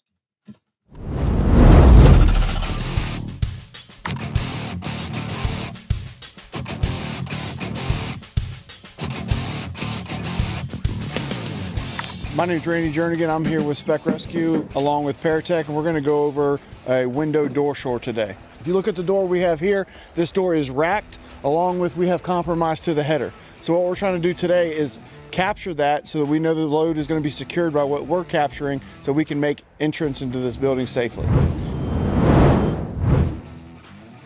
The components we're going to need for a window door shore are going to be a strut, extension. We're going to have the 4x4 U-channel base. We're also going to have the rigid base along with two Paratech hammers. We have a header and sole. The, Typically these headers and soles are cut an inch and a half short so that we can put wedges on e either side to pressurize the load on the walls. we're going to go ahead and get started. The sole we've gone ahead and placed into the door frame. With the header, I'm gonna take the U-channel and I'm gonna place it directly in the center of this header. You'll see the U-channel. On either side, there's, there's nail holes. We're gonna go ahead and place nails in those holes, bend them over so that it's controlled. It won't fall out as we go to place it in. Now we've bent those nails over, that controls that U-channel, prevents it from falling out on us unexpectedly. I'm now gonna take the Paratech strut with an extension. The more barrel we still have inside there is gonna be better for the strength. So I take a small extension, I'm going to slide it into the header, locks it into place. After that, we've got our six by six rigid base set up. We're gonna take our header and sole, make the attachment. Center it up over the load. We'll raise it into place, spin the collar. Now we have our strut capturing the header. At this point, we want to step back and make sure this strut is lined up perf perfectly straight up and down. Any type of movement off center kind of promotes shift in that load. What we're gonna do is you notice we have a void here in the top of our header. That needs to be backfilled so that pressurization is done evenly across the entire spot. How we do that? Two wedges. So now we've captured that void. We've got tight here, that captures the load. Last thing we have to do is pressurize the strut. We're just gonna give a little a minimum pressure just so it doesn't fall out. We spin the collar, it's nice and tight. If you look in the USAR manual, this is a little different variation. So this is more of a T-spot method of how we do shoring. What this enables us to do is now come back in behind us, place the permanent wood strut, take this down, and go ahead and proceed inside the building to make this work. Moving to the vertical shore, so we've secured the outside with the raker. Now we've done the door or, or, window, so we have a good entrance or egress point. And now we're moving to our vertical shores. What I'll tell you about the vertical shores is we've come a long way uh, the pneumatics uh, or mechanical shores. We can build anything from the spot shore all the way to the lace post that you see on the right. Um, you start to get a little counterintuitive when you get to that lace post on the far right, as it requires a lot of equipment and eats up a uh, a lot of time as well. But they we do have uh, a system that we're going to recommend to you to place in place while you're building that permanent lace lace post. But we'll get to that as we move on. Uh, so we start with the spot that shore is going to be the weight rating is going to be whatever the length of that uh, that strut's rated for. Mind you, when you put this in place, uh, you're controlling very little load as you're only in that six by six area that you're capturing. So it may be perfectly acceptable if you have a beam that you're attaching to and it's holding everything just like it's supposed to. Or if you're on a masonry floor, you may not be holding anything besides that little cone of area around that base plate uh, at the top that's securing the load for you. So just remember what you're trying to do and how you're doing it. Um, and under you need to fully understand uh, building construction and uh, building shoring before we just make uh, arbitrary decisions. Uh, this is a spot shore. The only thing it does goes in and you uh, can put the collar in either fashion. I recommend putting the collar at the bottom. It allows for ease of placement and pressurization. So we're not, uh, or capture, so we're not over our head trying to spin that collar. Put a fixed base plate on each side and go ahead and make your attachment. Uh, once we extend it up, then tighten the collars uh, till you obtain capture, and then now we've got our our spot shored. Um, this is a Type One shore, so it has very little, uh, has no lateral support, and it this one gives us no uh, potential warning signs. Moving to the T spot. So the T spot's also a type one shore as the only lateral protection it gives us is the nail holes on the side. This is the one shore that's actually rated lower in the mechanical side than it is in wood. And that's strictly because of uh, the left and right or axial loading of that header onto that U channel. Um, we can give you more data if you if needed. How we build this is we're going to take 36 inch header and soles. We place the U channel or U base directly in the middle of that on the top and bottom. We'll go ahead and nail off our U, our U channels, bend them over like discussed earlier uh, to, to hold that U channel to the uh, 4x4. Place your strut in for the appropriate size and then come back in, uh, tighten the collars, pressurize it as you need to be, or capture it as need to be. Again, this one offers very little, if not any, um, lateral support. Moving to the T, um, the the going back real quick, uh, got ahead of myself. That uh, spot shore, there's really going to be not a whole lot, a whole lot of integration into wood with that. Because if you're building a spot shore, there's really, really no need for you to come back in and build a permanent wood spot shore. I mean, a T spot. So if you're going to build that T spot um, and you want that's all you need, uh, go ahead and put the spot shore up and then come back in later and put your T spot in.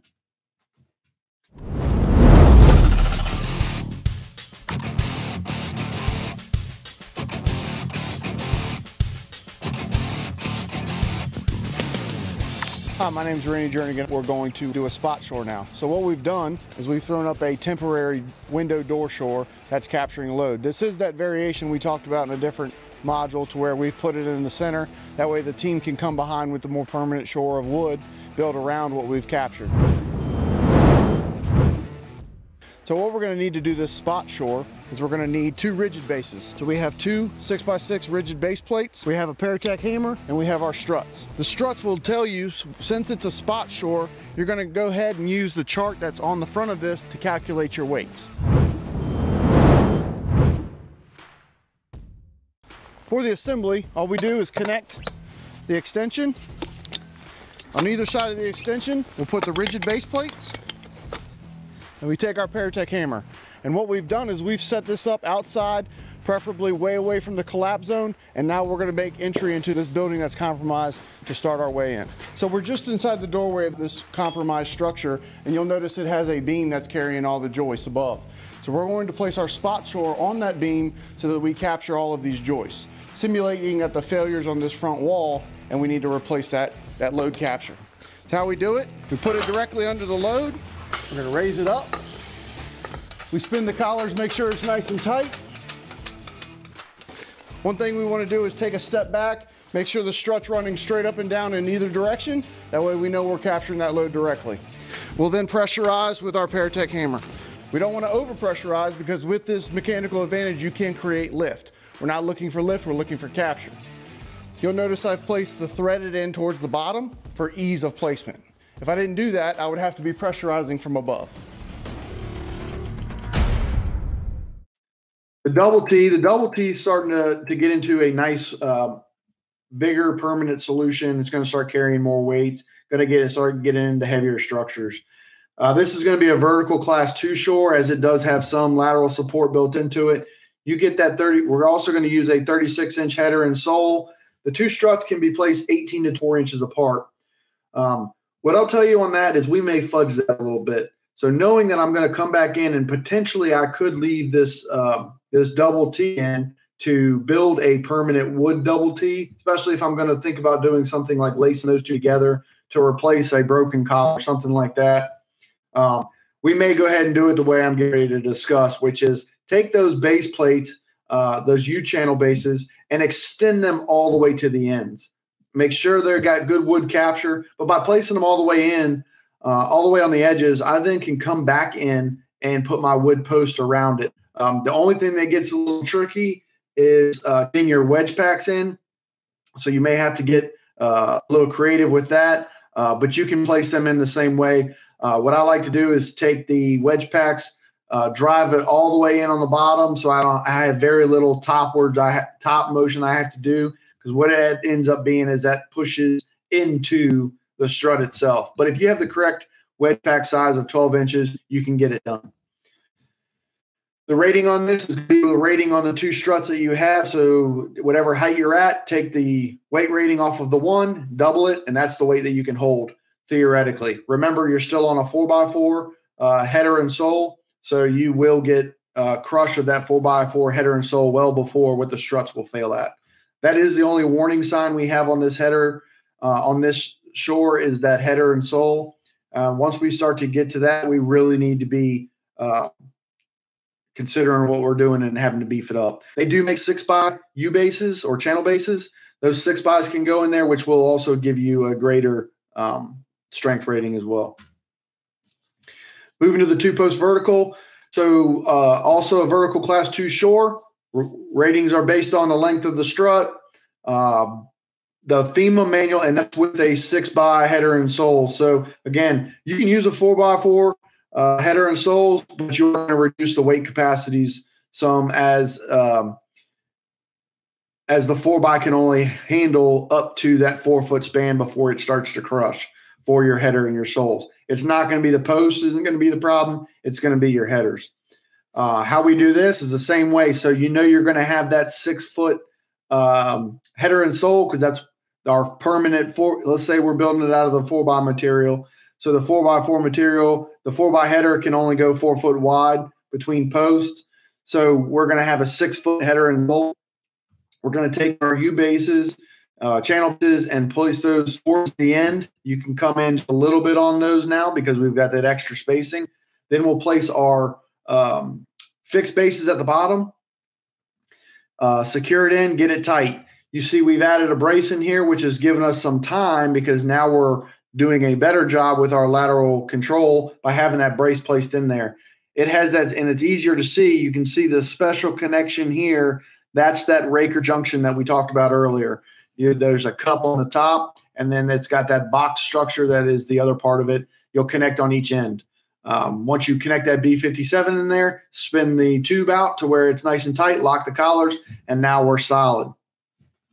How we integrate this with our two post vertical for wood is, as I told you, see if you notice that we're basically uh, four inches in on each side of that header and sole. What that allows us to do is we've got plenty of uh, spacing in there to place our permanent wood post. So we come in with the permanent wood post. We take our measurements. Thing we will have to we have to taste and middle out. Don't do it until you're ready to pressurize your post. So get your posts in place get your wedges ready, uh, place it perfectly in line, and you're going to place those permanent wood posts at four foot outside to outside. Once they're spaced in there, pressurize with your wedge packs, secure it. Once it's secured, now we can take our pneumatics down uh, around it. You will have to take that brace out, as I said, in order to place the posts in. Some more pictures of the two post vertical. Uh, you can see the bottom. There's a Rescue Guardian on there, and it's giving you a better look at what the rail junction, the Raker junction, looks like.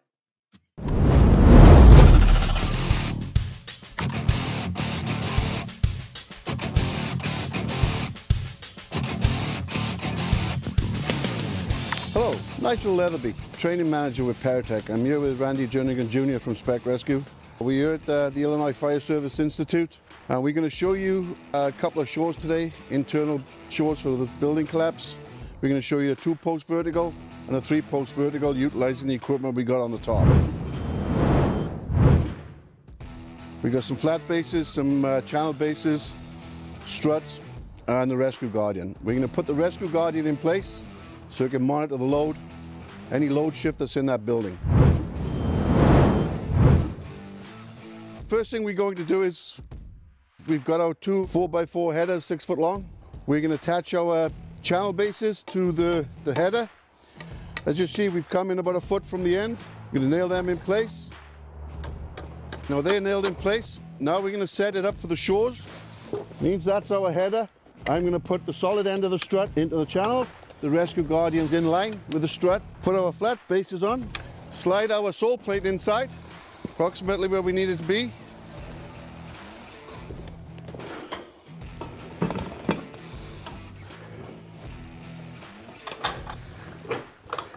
Got our two post vertical in place, capturing several cross members of the floor above. Super strong, but if we wanted to make it stronger, then we need to cross brace this. There's a few ways we can do this. One, we can come in with our two by six, go head of the sole, each side to create the X. Two, we can put our clamp and clevises on you. I'll put a B57 in between. Three, with pre-construction, if we know we're going to cross brace, we can put our raker junctions on you and put our B57 in between. And the last option, we can come in with our nailing pads, put our nailing pads on the struts, and put a two by six. So here's your two post vertical. It's capturing floor joists. The post, which is the strut, is under one floor joist, which marries four foot apart to the other four joists. I've got a brace, B57 brace in the diagonal. Uh, the Rescue Guardian is in line with the strut to monitor any movement in this building. So that's your finished two post vertical. Uh, Paratech uh, three post vertical is done the same way. Just just think about this as being two two posts side by side. What this allows, is instead of building two two posts, which require four struts, we're getting away with a longer span. So by having this span on, you can see the joists that are above us. This is a great shore for light frame construction, even though it holds a ton of weight. What we're not, what we don't really need in this instance is it may not be weight, but it may be the distance. So I could again build two two posts side by side, but I can take care of that with less material by building a three post. So most trucks are carrying 10 to 12 foot board lengths uh, of four by. If we have one of those, just pull the whole thing out and use that. And if we needed to trim off later, we could. What we don't want to do is, is catch extra joists. So we're going to have a 12 inch overhang on each end. Make sure the end of that 12 inch falls in between your floor joist or ceiling joist. Because if it doesn't, now we're capture, capturing load toward the very end, which gives us a, a fulcrum like effect and is uh, not what we're we're wanting to do for our shores. We're trying to funnel everything into the post. We we don't want to be capturing an extra uh, joint on each side of that. So the three posts, we're going to have a 12 inch overhang um, on each end, just like the two post vertical. Put your spacing four foot apart, or in this case, because they're the mechanical struts, they're going to be five foot because we treat those like a six by six. And so we can take five foot spacing. I know you're going to say, but the header's only four by, and that's true. But for temporary shore, while we're putting it in just to make the area safe, we're going to operate um, with little less safety factor and and space that out just a bit. Um, and if you uh, are really really anxious about it, then you can put a four by six header turned on end uh, and use it that way. But if you, if you're if you're good with taking the, the mechanical shore, um, maximizing the spacing and placing the four by in there to capture the load only temporary use while you're coming in, building your permanent wood shore around it. And and I, I mean it should be done with the shore goes in, the next crew's coming in to start working it as well. So that it should be in rapid fashion. I would not condone letting it sit there forever, but uh, to temporarily make the area safe, I'm going to go ahead and take that five foot spacing on it. Uh, so I have the five foot spacing that's going to push my all my strut the outer edge. That now allows me to come in with my four by spacing, place uh, for the permanent four by four shores, place it in there, pressurize identically to what we did with the two post, and then uh, start taking down the uh, mechanical shores that you see. Uh, this one's going to require two braces if you're using the mechanical. So you'll see we have an A-frame here from uh, bottom left to the top middle, and then top middle to bottom right gives us a nice wide opening at the bottom to make access in and out. Attachment point uh, on the middle strut, just showing you the two clamping clevises. Uh, they can touch, they cannot touch. If they're right on top of each other, sometimes it makes tightening that wing nut a little difficult.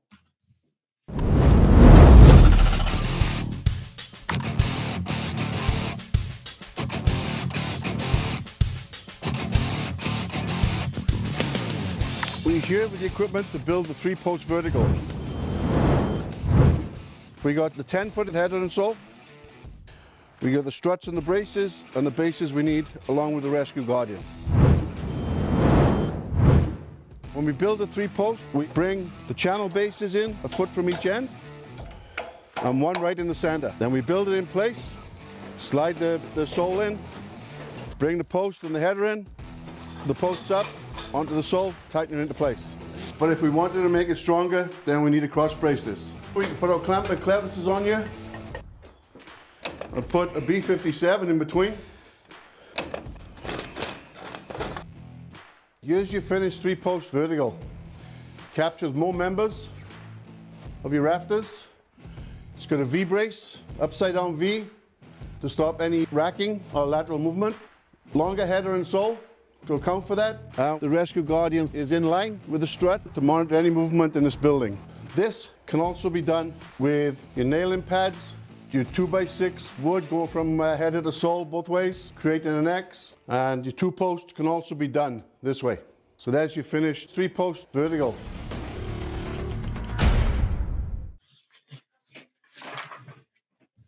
So uh, box cribbing at the at the uh, Pentagon. So Virginia Task Force Two, which I'm a member of, I did not go to this as I was not on the team yet. But this is some of the creative shoring they had to do there. They encountered some weight they were not accustomed to uh, carrying in some places because they they didn't know um, uh, truly how thick those floors were. It became very hard for some of the engineers to actually even determine what the true weight was because uh, it is a bit the Pentagon, a very top secret building, um, makes some of that stuff difficult. So as you see, what they've done is they've built three box cribs side by side. They have the two out of six by sixes that are on nine point, and the far right one, which is at the cantilever, which is holding a, a, good amount of the weight. They built a solid box crib stack from uh, floor to ceiling, and then encapsulated it with plywood to increase the strength even more.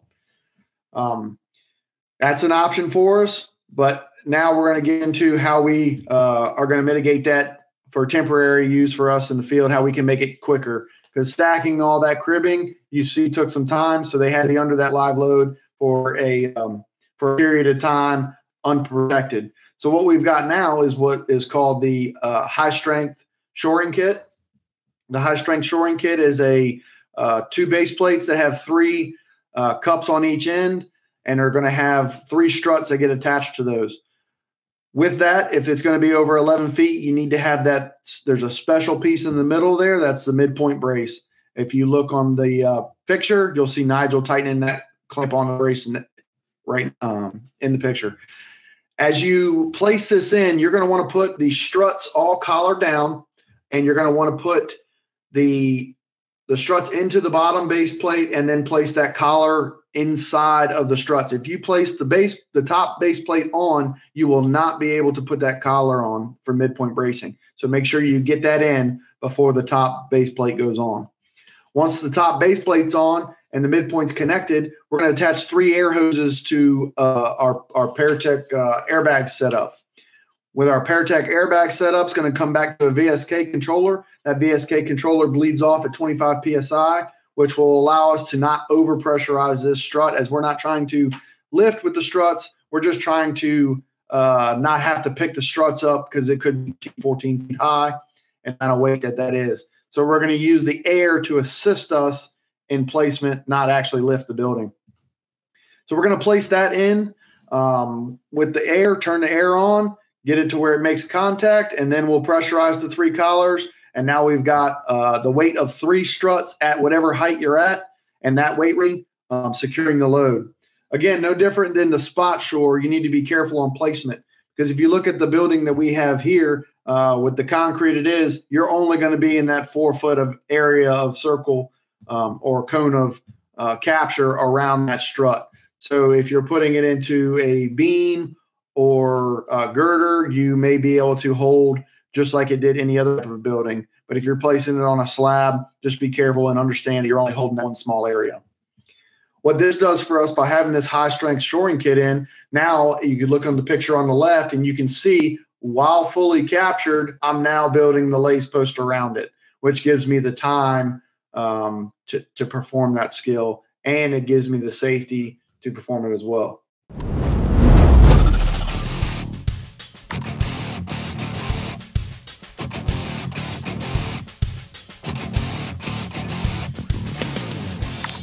Hi, I'm Tom Gavin with Paratech. I'm here with Randy Journigan Jr. from Spec Rescue International. We're at the Illinois Fire Service Institute in Champaign, Illinois. We're at their USAR training site. And what we're going to do today is we're going to erect the Paratech high strength structural kit showing you how to replace a column. The high strength structural kit is great for replacing a column. So you're going to typically look for somewhere that has a beam or where an existing column was. In this instance, we have three column, four columns here that we're simulating are going to be our uh, capture point that have failed and we're going to bring the column in to replace that failed piece. In this particular instance you have an entire span of ceiling which we would have to capture with a header or a girder um, of some sort. In this instance we're just going to replace the column as if that's a beam. And to do that, we could actually place two of the high strength structural kits with six by sixes or so or a beam going across the top to pick up more of the load. We're also going to incorporate the Rescue Guardian. What we have here today is the Paratech high strength structural kit. I'm going to show you what it consists of. We're going to use it today with these three Paratech 610 gold struts. So a 610 gold strut collapsed to six foot, extends out to 10 foot, and we can put extensions on that all the way up to six foot. Okay, so we're going to use those three struts, and the kit itself comes with these components. So there's two of these large base plates right here. They're designed to pick up a lot of the load and transfer it. And then we have the other one that's going to go on the opposite end. So one's going to be on the ground, one's going to be up picking up the load. We also have air hoses on here. What we could do with the air hoses is we could hook this up to air and we can use the air to extend it. So we'll hook this up to air, we'll hit one button and all three struts will extend. The air will just push them up, make it easier for us to set it up and lock it up. The key to this system is this piece right here. And this piece is a brace. What we're gonna do is we're gonna set that brace in the middle of our setup of the three struts. And what that's gonna do is that brace will prevent the struts from buckling. So that makes them a lot stronger.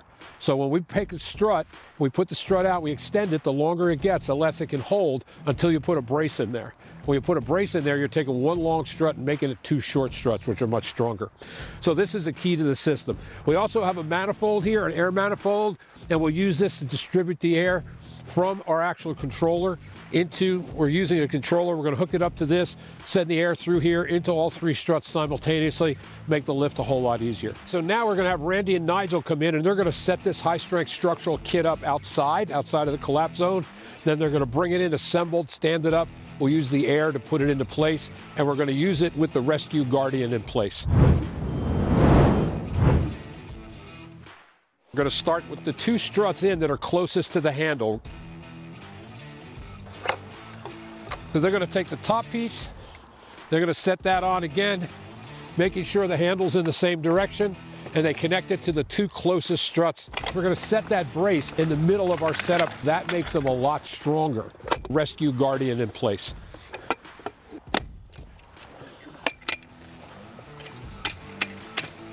So now we're going to have Randy and Nigel bring it in assembled. We'll use the air to put it into place, stand it up, and we're going to use it. We're going to use it with the Rescue Guardian in place.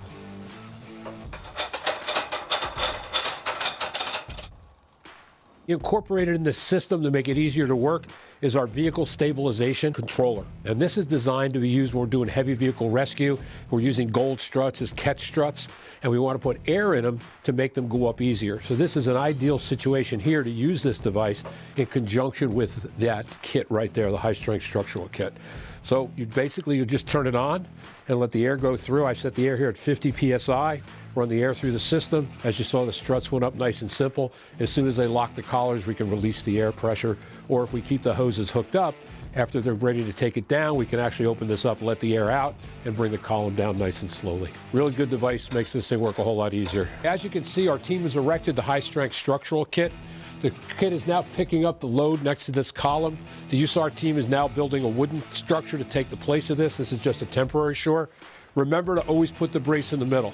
To make the stronger system, you want to put the brace right in the middle. That'll keep the struts from buckling, okay? We've incorporated our load cell right here, and this is very important in a situation like this. I can turn on the Rescue Guardian right now, and that's going to detect any change in load. And we need to know that. If we're going to be working under here, we want to know if the load shifts at all. It'll also detect angle changes in angle. So if this big were to shift a little bit, the angle were to change, it will also pick up vibration. So we can set it to do one, two, or all three of those things. But in a situation like this, and you saw, I probably want to set it up for all three. So as opposed to the site we were looking at earlier, that's just one solid slab of concrete, we can simulate here where this piece that comes across is what a beam may look like or girder. This is where we would put the base plate for our high strength structural kit to make the connection to support the load.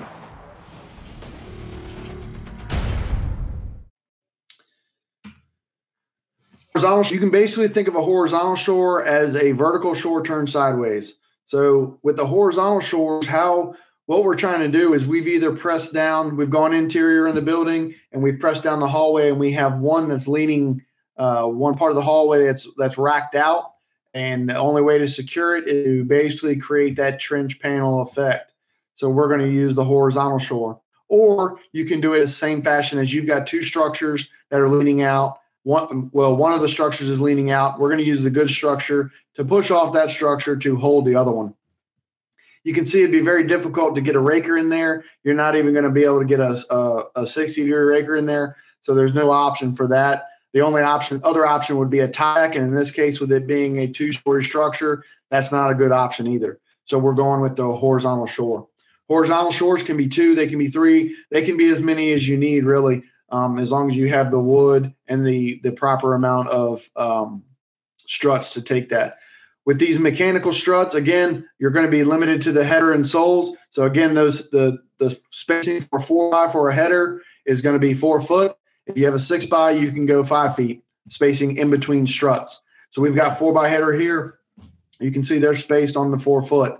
Um, however, again, not uh, cheating statistics or numbers, but if you know you're coming in with the permanent wood, wood around it and you're going to be doing it in an expedient fashion, you can place these in at that five foot spacing uh, and then come back in and build your permanent wood ones around it, which makes ease of placement uh, a better for you.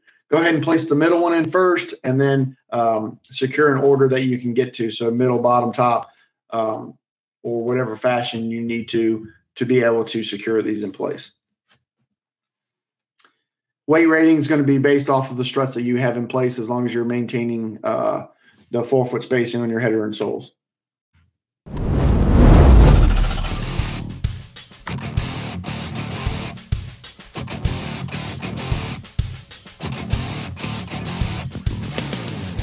Now we're going to do the three post horizontal. Here's the equipment we need. We got the 10 foot instead of the 6 foot wall plates. We got the strut and the bases we need along with the Rescue Guardian. And when we build the three post, we bring the channel bases in, a foot from each end, and one right in the center. Then we build it in place, and we put it in exactly the same way as we put the two post horizontal in. As you see, we've already pre-nailed the channel bases on the one. Then the other channel bases are going to be nailed onto the other one. Marry them up as close as possible, and we can erect and build our three-post horizontal.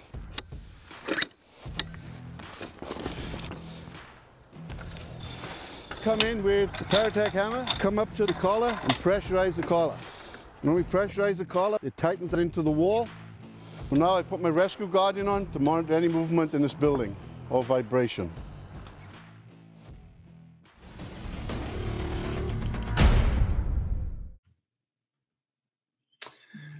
That pushes us onto the daunting slope floor shore. Um, this has always been the teaching structural collapse every year. This has always been the one shore that everybody uh, dreads or is most intimidated by. Until you actually start doing it a bunch, you and you realize that it's nothing more than a lace post and a raker combination. Uh, it, it, can be very intimidating, uh, but it doesn't need to be. So the more you practice with the wood, the better you'll get. But we're going to make this uh, knowing that it takes us a, a while to put this in because guaranteed uh, when we need to do this in the real world, there's going to be uh, FOG manual all over the place looking at how to do it. It's going to take us some time. So we can do this safely with the pneumatic shores that we have uh, on our trailers. And how we do that is, is this picture right here. So again, going back to what we discussed of the uh, the combination of raker and lace post, you'll see we've com- combined some of the um, the theories in into these two. There's two different ones here. They're the same, um, but they use different pieces. And if you notice, the difference is going to be the whaler rails on the left and the raker rails on the right. Uh, we don't have the specific numbers for raker rails yet, but they're coming. Uh, we've been told that as long as it's uh, secured and good tech, you can use them. However, uh, however you use the whaler rails. If you're on soil, you may have to put some wood material under the insertion points of them on each direction to stiffen that area up, but they can be used just like the whaler rails. If you're going to use the whaler, whaler rails, you're going to use, uh, it would be better. You can see here how they have the rail latches. It would be better to use a 45 degree um, angle base or swivel base, uh, fixed base at the bottom, and then place your whaler stops in as they are they are meant for that uh, that particular piece. So you place those in. How we build it. Um, so we're going to take our raker rail or whaler rails. The spacing is going to be the three or four foot, however far apart that you're going to go with your um, slope floor shore. In this particular one, we've gone four foot spacing on it. So, um, and we're perpendicular to the load. You're going to place those in, measure quickly for your height, and you can get a really close guesstimate before entering that area and have one side of this built so I can s- slide it into place. So I take my two measurements I have, the three and the four foot on the back, or four and five, whatever it may be, have them in so it's one big box, slide the box in, raise it up into place. Once I get it in place, then I'm going to lock the collars down. Once I lock the collars down, I'm going to go ahead and put my bracing on. The brace gets on, goes on just like the uh, cross bracing of the rakers did. And now I need to secure this to the floor because as I pressurize, I still have the ability to push the bottom out or the top out, and I don't want to do that. So I'm going to secure both directions. Secure this tight to the floor, and then get your good uh, good capture point. Then you're going to come off of your spacing. Um, whatever that may be, we're allowed to go up to the eight foot spacing. So if you are going to maximize your wood spacing and go eight feet, I would suggest going to uh, six foot again, like we did for the Paratech uh, raker on my slope floor shore. So space them six foot apart. Again, it works best for your uh, your B57 braces, uh, but it also allows you to build the permanent wood ones around it.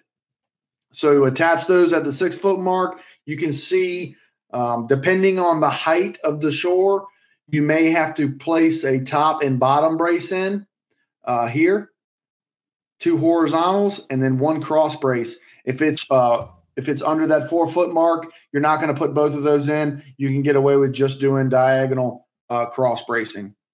You see, we've got the B57s completely around it. When I look through an open window, no different than the lace post, I should see an X. That means my braces are running in different directions and that should be from the side view or from the front view as well. You can also get very creative with these slope floor shores. So we've got a slope floor shore here that's got hydrofusions behind it. Um, that that's going to, if you needed to lift the slab for whatever reason, you could put those hydrofusions behind it, uh, perform your lift and capture at the same time, which is a very nice uh, ability to do if you needed it. Uh, Paratech is is always looking for the end user to to give them ideas or examples of how to improve their equipment. So if you have something, it would it would definitely be uh, a good idea to send to Paratech so they can get it tested. We don't want to just do things on our own without having uh, somebody else look at it as it's uh, their equipment. They know it the best.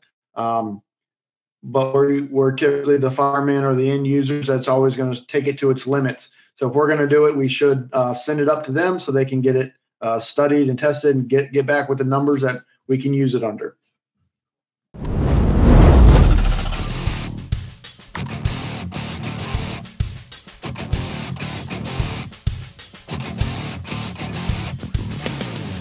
Hi, my name is Randy Journigan. I'm here at the Illinois Fire Service Institute with Nigel Letherby and Paratech. Today we're going to go over building the slope floor shore. We're going to start with our raker rails and the rail latches. We take the two uh, rail latches, we'll place them in there four foot apart, which was done by the predetermined holes that are 12 inches apart, which makes it nice and easy for us, again, with no measuring. So we're going to place the 406 strut in now. That's going to be towards our back because if you look at our collapsed area, it's higher on the back side than the front side. Now we've got it pre-assembled on the outside. All we have to do is take it into the collapsed area, stand it up, match the floor, and then pin it. After we pin it, we'll pressurize. When we get in there, I'll start talking about some advantages of why the mechanical shores will make it a safer, quicker area for you to operate when you're building a more permanent wood one. So you see we've got these at a 90 degree angle to our slope, okay? What that does is it provides straight down coverage for these pneumatic shores. Gives us the most protection when holding up this slab. We have the compound floor here. By having the compound floor in the in the wood world, that makes it a little bit more challenging for us. Not that it can't be done, but we have to do some adding and subtracting to make that happen. In the pneumatic world or the mechanical world, there's absolutely no tape measure involved. We bring it in, we slide it in place, lock the pins, pressurize the collars, we're good to go. We've now captured the floor. The one thing I haven't done is I would need to pin this so when I offer pressurization, it doesn't want to slide forward or backwards. So I would pin both rails top and bottom because that compound floor, we could lose it in either direction. So now what we're doing, we've got an extension, a 235 extension and a B23. We're gonna place it in here with our clamped clevises to provide diagonal support. We've added that B23, the 26 to 36 inches, which allows for tension and compression control. If we have simply a strut in that it'll only control in the compression, we need to capture both tension and compression. So we've added that. Now we'll do the second. All right, so now we've completed the assembly of the second leg of the slope floor shore. Now we'll carry it, set it into place, and begin our cross bracing. So we have the second leg in. You notice we braced it in opposite directions, so when it becomes a total package, all the directions are covered as far as tension and compression is concerned. When we look up to the top, as we discussed earlier, we would need to pin this above and below through these holes. That way we can get true pressurization. If we don't do that, it's gonna slip in either direction. I'm placing these clamp and clevises on here so that when we put our diagonals in, we'll have the total system package together. So we won't be using just one side, we'll be using both sides together similar to a lace post. This shore can go up to eight feet wide. So now we've completed our slope floor shore. We've got bracing in both directions, going opposite from each other, which controls tension and compression in all directions. This allows us to build a more permanent wood shore around on the outside of this, so we stay safe the entire time.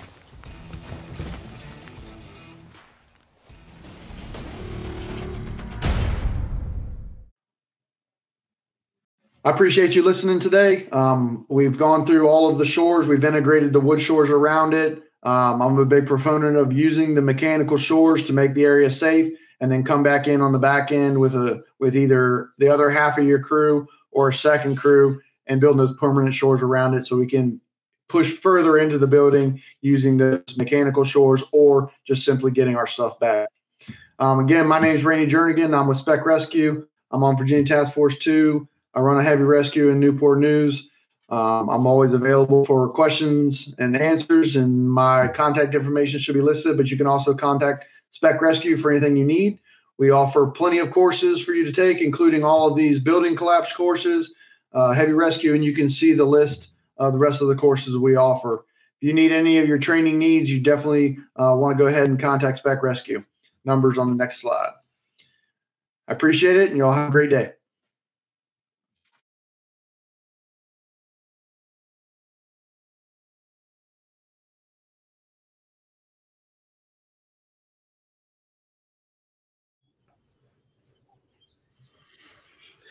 Thank you for watching uh, today's webinar on uh, building collapse using the SMT trailer. Uh, we're going to go over a couple of your questions uh, live that we've answered. Uh, we just run through them a little bit quick. And if you've got any more questions, please don't hesitate to uh, use the chat. So the first question was B-Fire 2027. When using extensions, does the weight of the extension take away from the load of the strut? No, it does not. Basically, what's going to happen with that is that the length of your strut is going to determine how much your strut will hold. So if you take a look at the label, if you take the length of the strut of a 610 and a two foot extension, which is going to be eight feet, if you look at your table for an eight foot strut, then that table tells you the capacity that strut will take. Uh, the next one, it's uh, Bomberos, Rodolfo Monroy. How much does the Longshore's weigh? Can they be carried by one rescuer? Well, the 610 weighs around about 40 pounds, which is 18 kilos. So yes, they can be carried by one rescuer to the site to the to the site and erected from there. When they are erected in different uh, disciplines, whether it be rakers, then it takes more than one person to carry it into place. Uh, Troy Russell said, "Is this positive and negative tension loads?" When the, I think that's to the rescue guardian. When the rescue guardian is in line, basically what happens it's only in compression. It's not in tension. The rescue guardian will not not measure tension. If you're referring to the struts, the struts are only in compression. The only thing we make that's in tension and compression are the braces that attach to the shores that you, you've seen in the videos. Uh, Joe Carr, how many cell phones can transmit at one time? Each Guardian can go to 10 uh, cell phones, tablets, whatever you got. You can also attach 10 Guardians to 10 uh, tablets or cell phones. You can name them, each Guardian, as you put it into the building uh, west wall, first level, uh, south wall, basement. And so that, that way you can monitor that different Guardian on the 10 devices how you need to. Uh, where are we? Okay, we did that one. We did that one. Okay, we did that one. To confirm, only one extension on the gold struts. However, you can have two extensions on the gray up to three feet. That's correct. We get a one, two, three rule. One strut, two extensions, not to go over three feet on the gray struts. And on the gold strut, it's just one extension per strut, no matter what length. Uh, let me look, take a look. Dave Maloof. I think Troy is asking, okay, that we've answered that one. Uh, does the Guardian alarm or just the devices connected to it? Everything alarms. If your Guardian is connected to one device or 10 devices, those devices will alarm and vibrate. Can you set the Rescue Guardian for more than one activity? Yes, you can. It's got angle, load, and vibration. You can either set one activity, which is load, or one which is incline, or one which is vibration.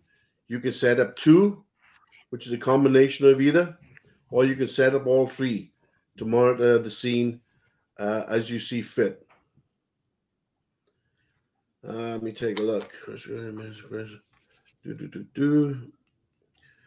Okay, Michael, can a two by eight be mounted at the rear of the raker plates to minimize creep or crush indicator that is that is not recommended? Well, what we tend to do, I'm gonna I'm gonna let Randy answer that one. Randy, do you want to answer that one from Michael?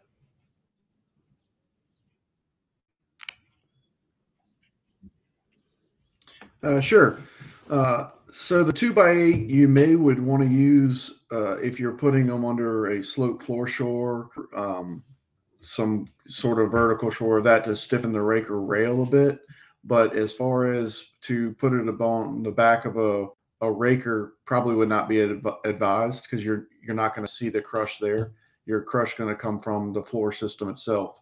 So I would be inclined to to more so put a plywood board on and the plywood backer board would be not necessarily to show me crush, but to uh, spread out the load in case I had a badly cracked wall or make it easier for me to pin to a wood structure so that I'd have something to nail to the studs.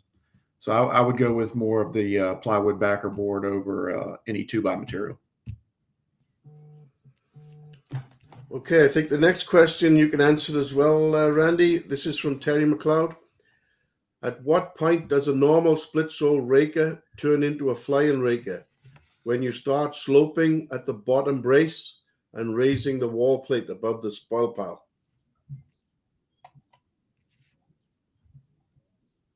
And that's for the wood system. So this was a, a big contention in uh, the FEMA world. Yes, sir. So it, it's a big contention in the FEMA world because that, and this is part of the reason why the flying raker has um, started going by the wayside. So people made the argument of if you're going to put the two diagonal uh, or horizontals up and for your split soles anyway, you might as well angle them down. So the the rule in the book, if you look at it, as long as you're able six inches of the bottom of your wall board and get within six inches of the trough base with that angle, then you're you're going to call that a uh, a split sole raker. And if you look at the, I drew a, a picture for you here. If you look at this picture, this depicts the wall board coming down. The load is going to be in this direction. So uh, typically, if you look up at if you look at Tilt Construction, they'll just have a commercial attachment here and run the the pipe shore all the way down. For us, we've extended that wall board down to also interact any of this load. So most of our load is going to come down, hit the raker, and transfer straight down that raker into our trough base, which then goes into our whaleback system. We will have some load on the side forcing in against that wall board. So the goal of the solid sole is any of bottom bracing that we have to also funnel that down to the trough base.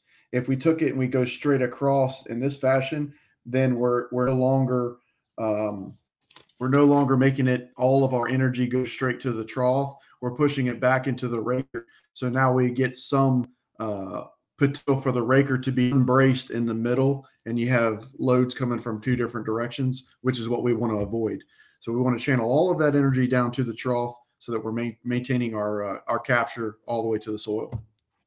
There's not a exact angle on it, but um, it should be uh, it should be angled within six inches of the trough.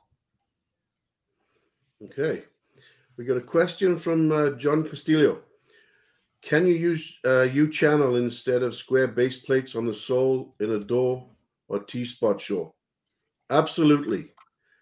The only thing you're going to be cognizant on, John, is what your header and sole is going up against. If there's a slight angle there or not. Uh, if there is, you may want to consider an angle plate, or you're going to start using uh, shims or wedges just to make your header uh, 90 degrees to the shore, because your channel base and your, your 90 degree base they don't angle in any way, and that's all you'll be doing is maybe putting pressure on the nails that's holding the plate to the to the header or the sole. Uh, another one from uh, Joe Carr. What is the item connected after the air bottle? That's uh, on your column. Uh, that is our VSK controller. That controller operates at 25 psi output, and what that does, it gives us enough the, uh, enough air to actually raise those three struts up and make soft contact.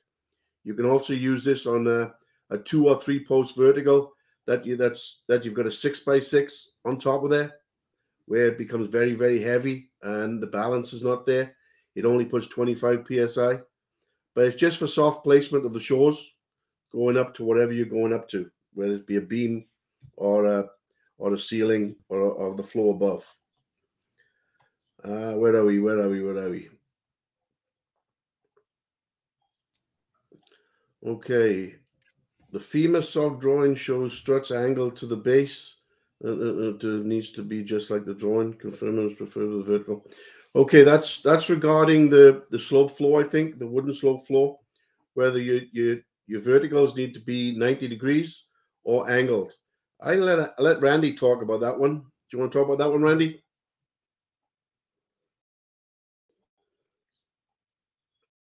So the slope floor shore is going to be dependent on how the slab above you is configured. If it's a free floating slab, uh, in order to maintain control of that slab, it needs to be 90 degrees to the load. So it needs to be uh, straight down, plumb and square, just like our lace post is. Uh, we're, we're controlling. We don't want any angle or deflection because that would promote movement in those directions. If the floor or ceiling is pinned, um, by either the top or the bottom, the struts need to be uh, 90 degrees to that slab. So not not the floor 90 degrees as in the free floating floor, but 90 degrees to the slab. So they will be on an angle and they need to be tied back uh, to prevent kick out. Okay, we got a question here from Terry McLeod. The B bracing used for compression and tension resistance still accomplishes that task with extension in place? Yes, it does. It's on the gold struts. You can put one extension in there and it still accomplishes the same thing using a brace. Although we've got the, the pins in place, if your shore is taking the load, whether it be rakers or verticals, if it's taking the load, then there should be no pressure on the braces. The braces are only there to keep your shore straight. So, for example, if you're building a raker system and using one of the braces, the objective is just to hold the, the, the shore in place, not to deflect it in any way with the brace. Because once you start deflecting off that straight, it's going to start putting pressure on the brace. Uh, we did a test at the factory many moons ago with FEMA, and that was with a raker when, when we first come up with the braces. And that was my question with that is the lock pins only hold around about 3,500 pound on shear. And my question was, well, a 3,500 pound on shear, they're going to break, they're going to shear off. Well, the engineer from FEMA said that they don't, as long as you can maintain the straightness of that raker rail, the raker shore, there's not going to be any weight on that uh, lock pin. So we had 58,000 pound of pressure on the raker and I went up to the to the brace and I could actually move the brace. It would actually twist in and out. I didn't do it too much because with that pressure, I didn't want it to react.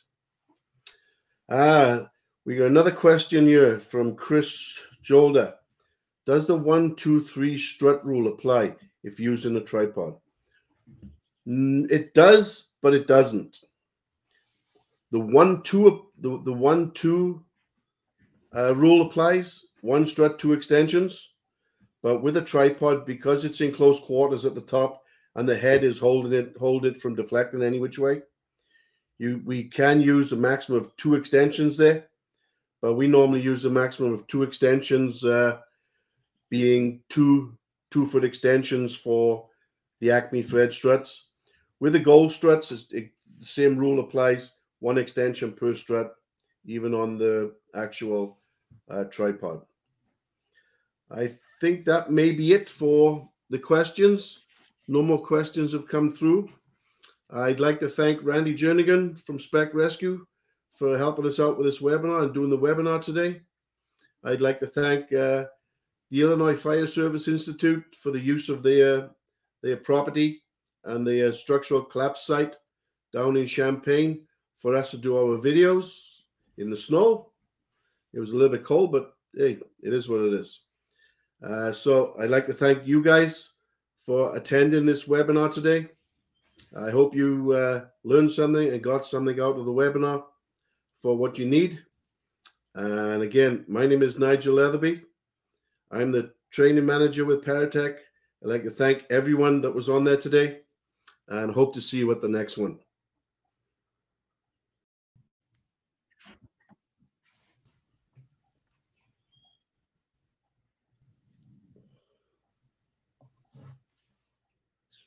Yeah, everything I said, I really appreciate it. Um, thanks for learning. Uh, thanks for attending. If you have any questions, my contact info is there. Uh, you can call me or call Spec Rescue or send emails. We'd be glad to answer it. Uh, I know there's a lot of information that was covered, and you may not be able to think of every question I have right now. So if you do have any questions, feel free to email me. I appreciate it. And if you have any um, any training needs, Spec Rescue is here for you. We'd be glad to do any classes you'd like to do. Thanks, Nigel.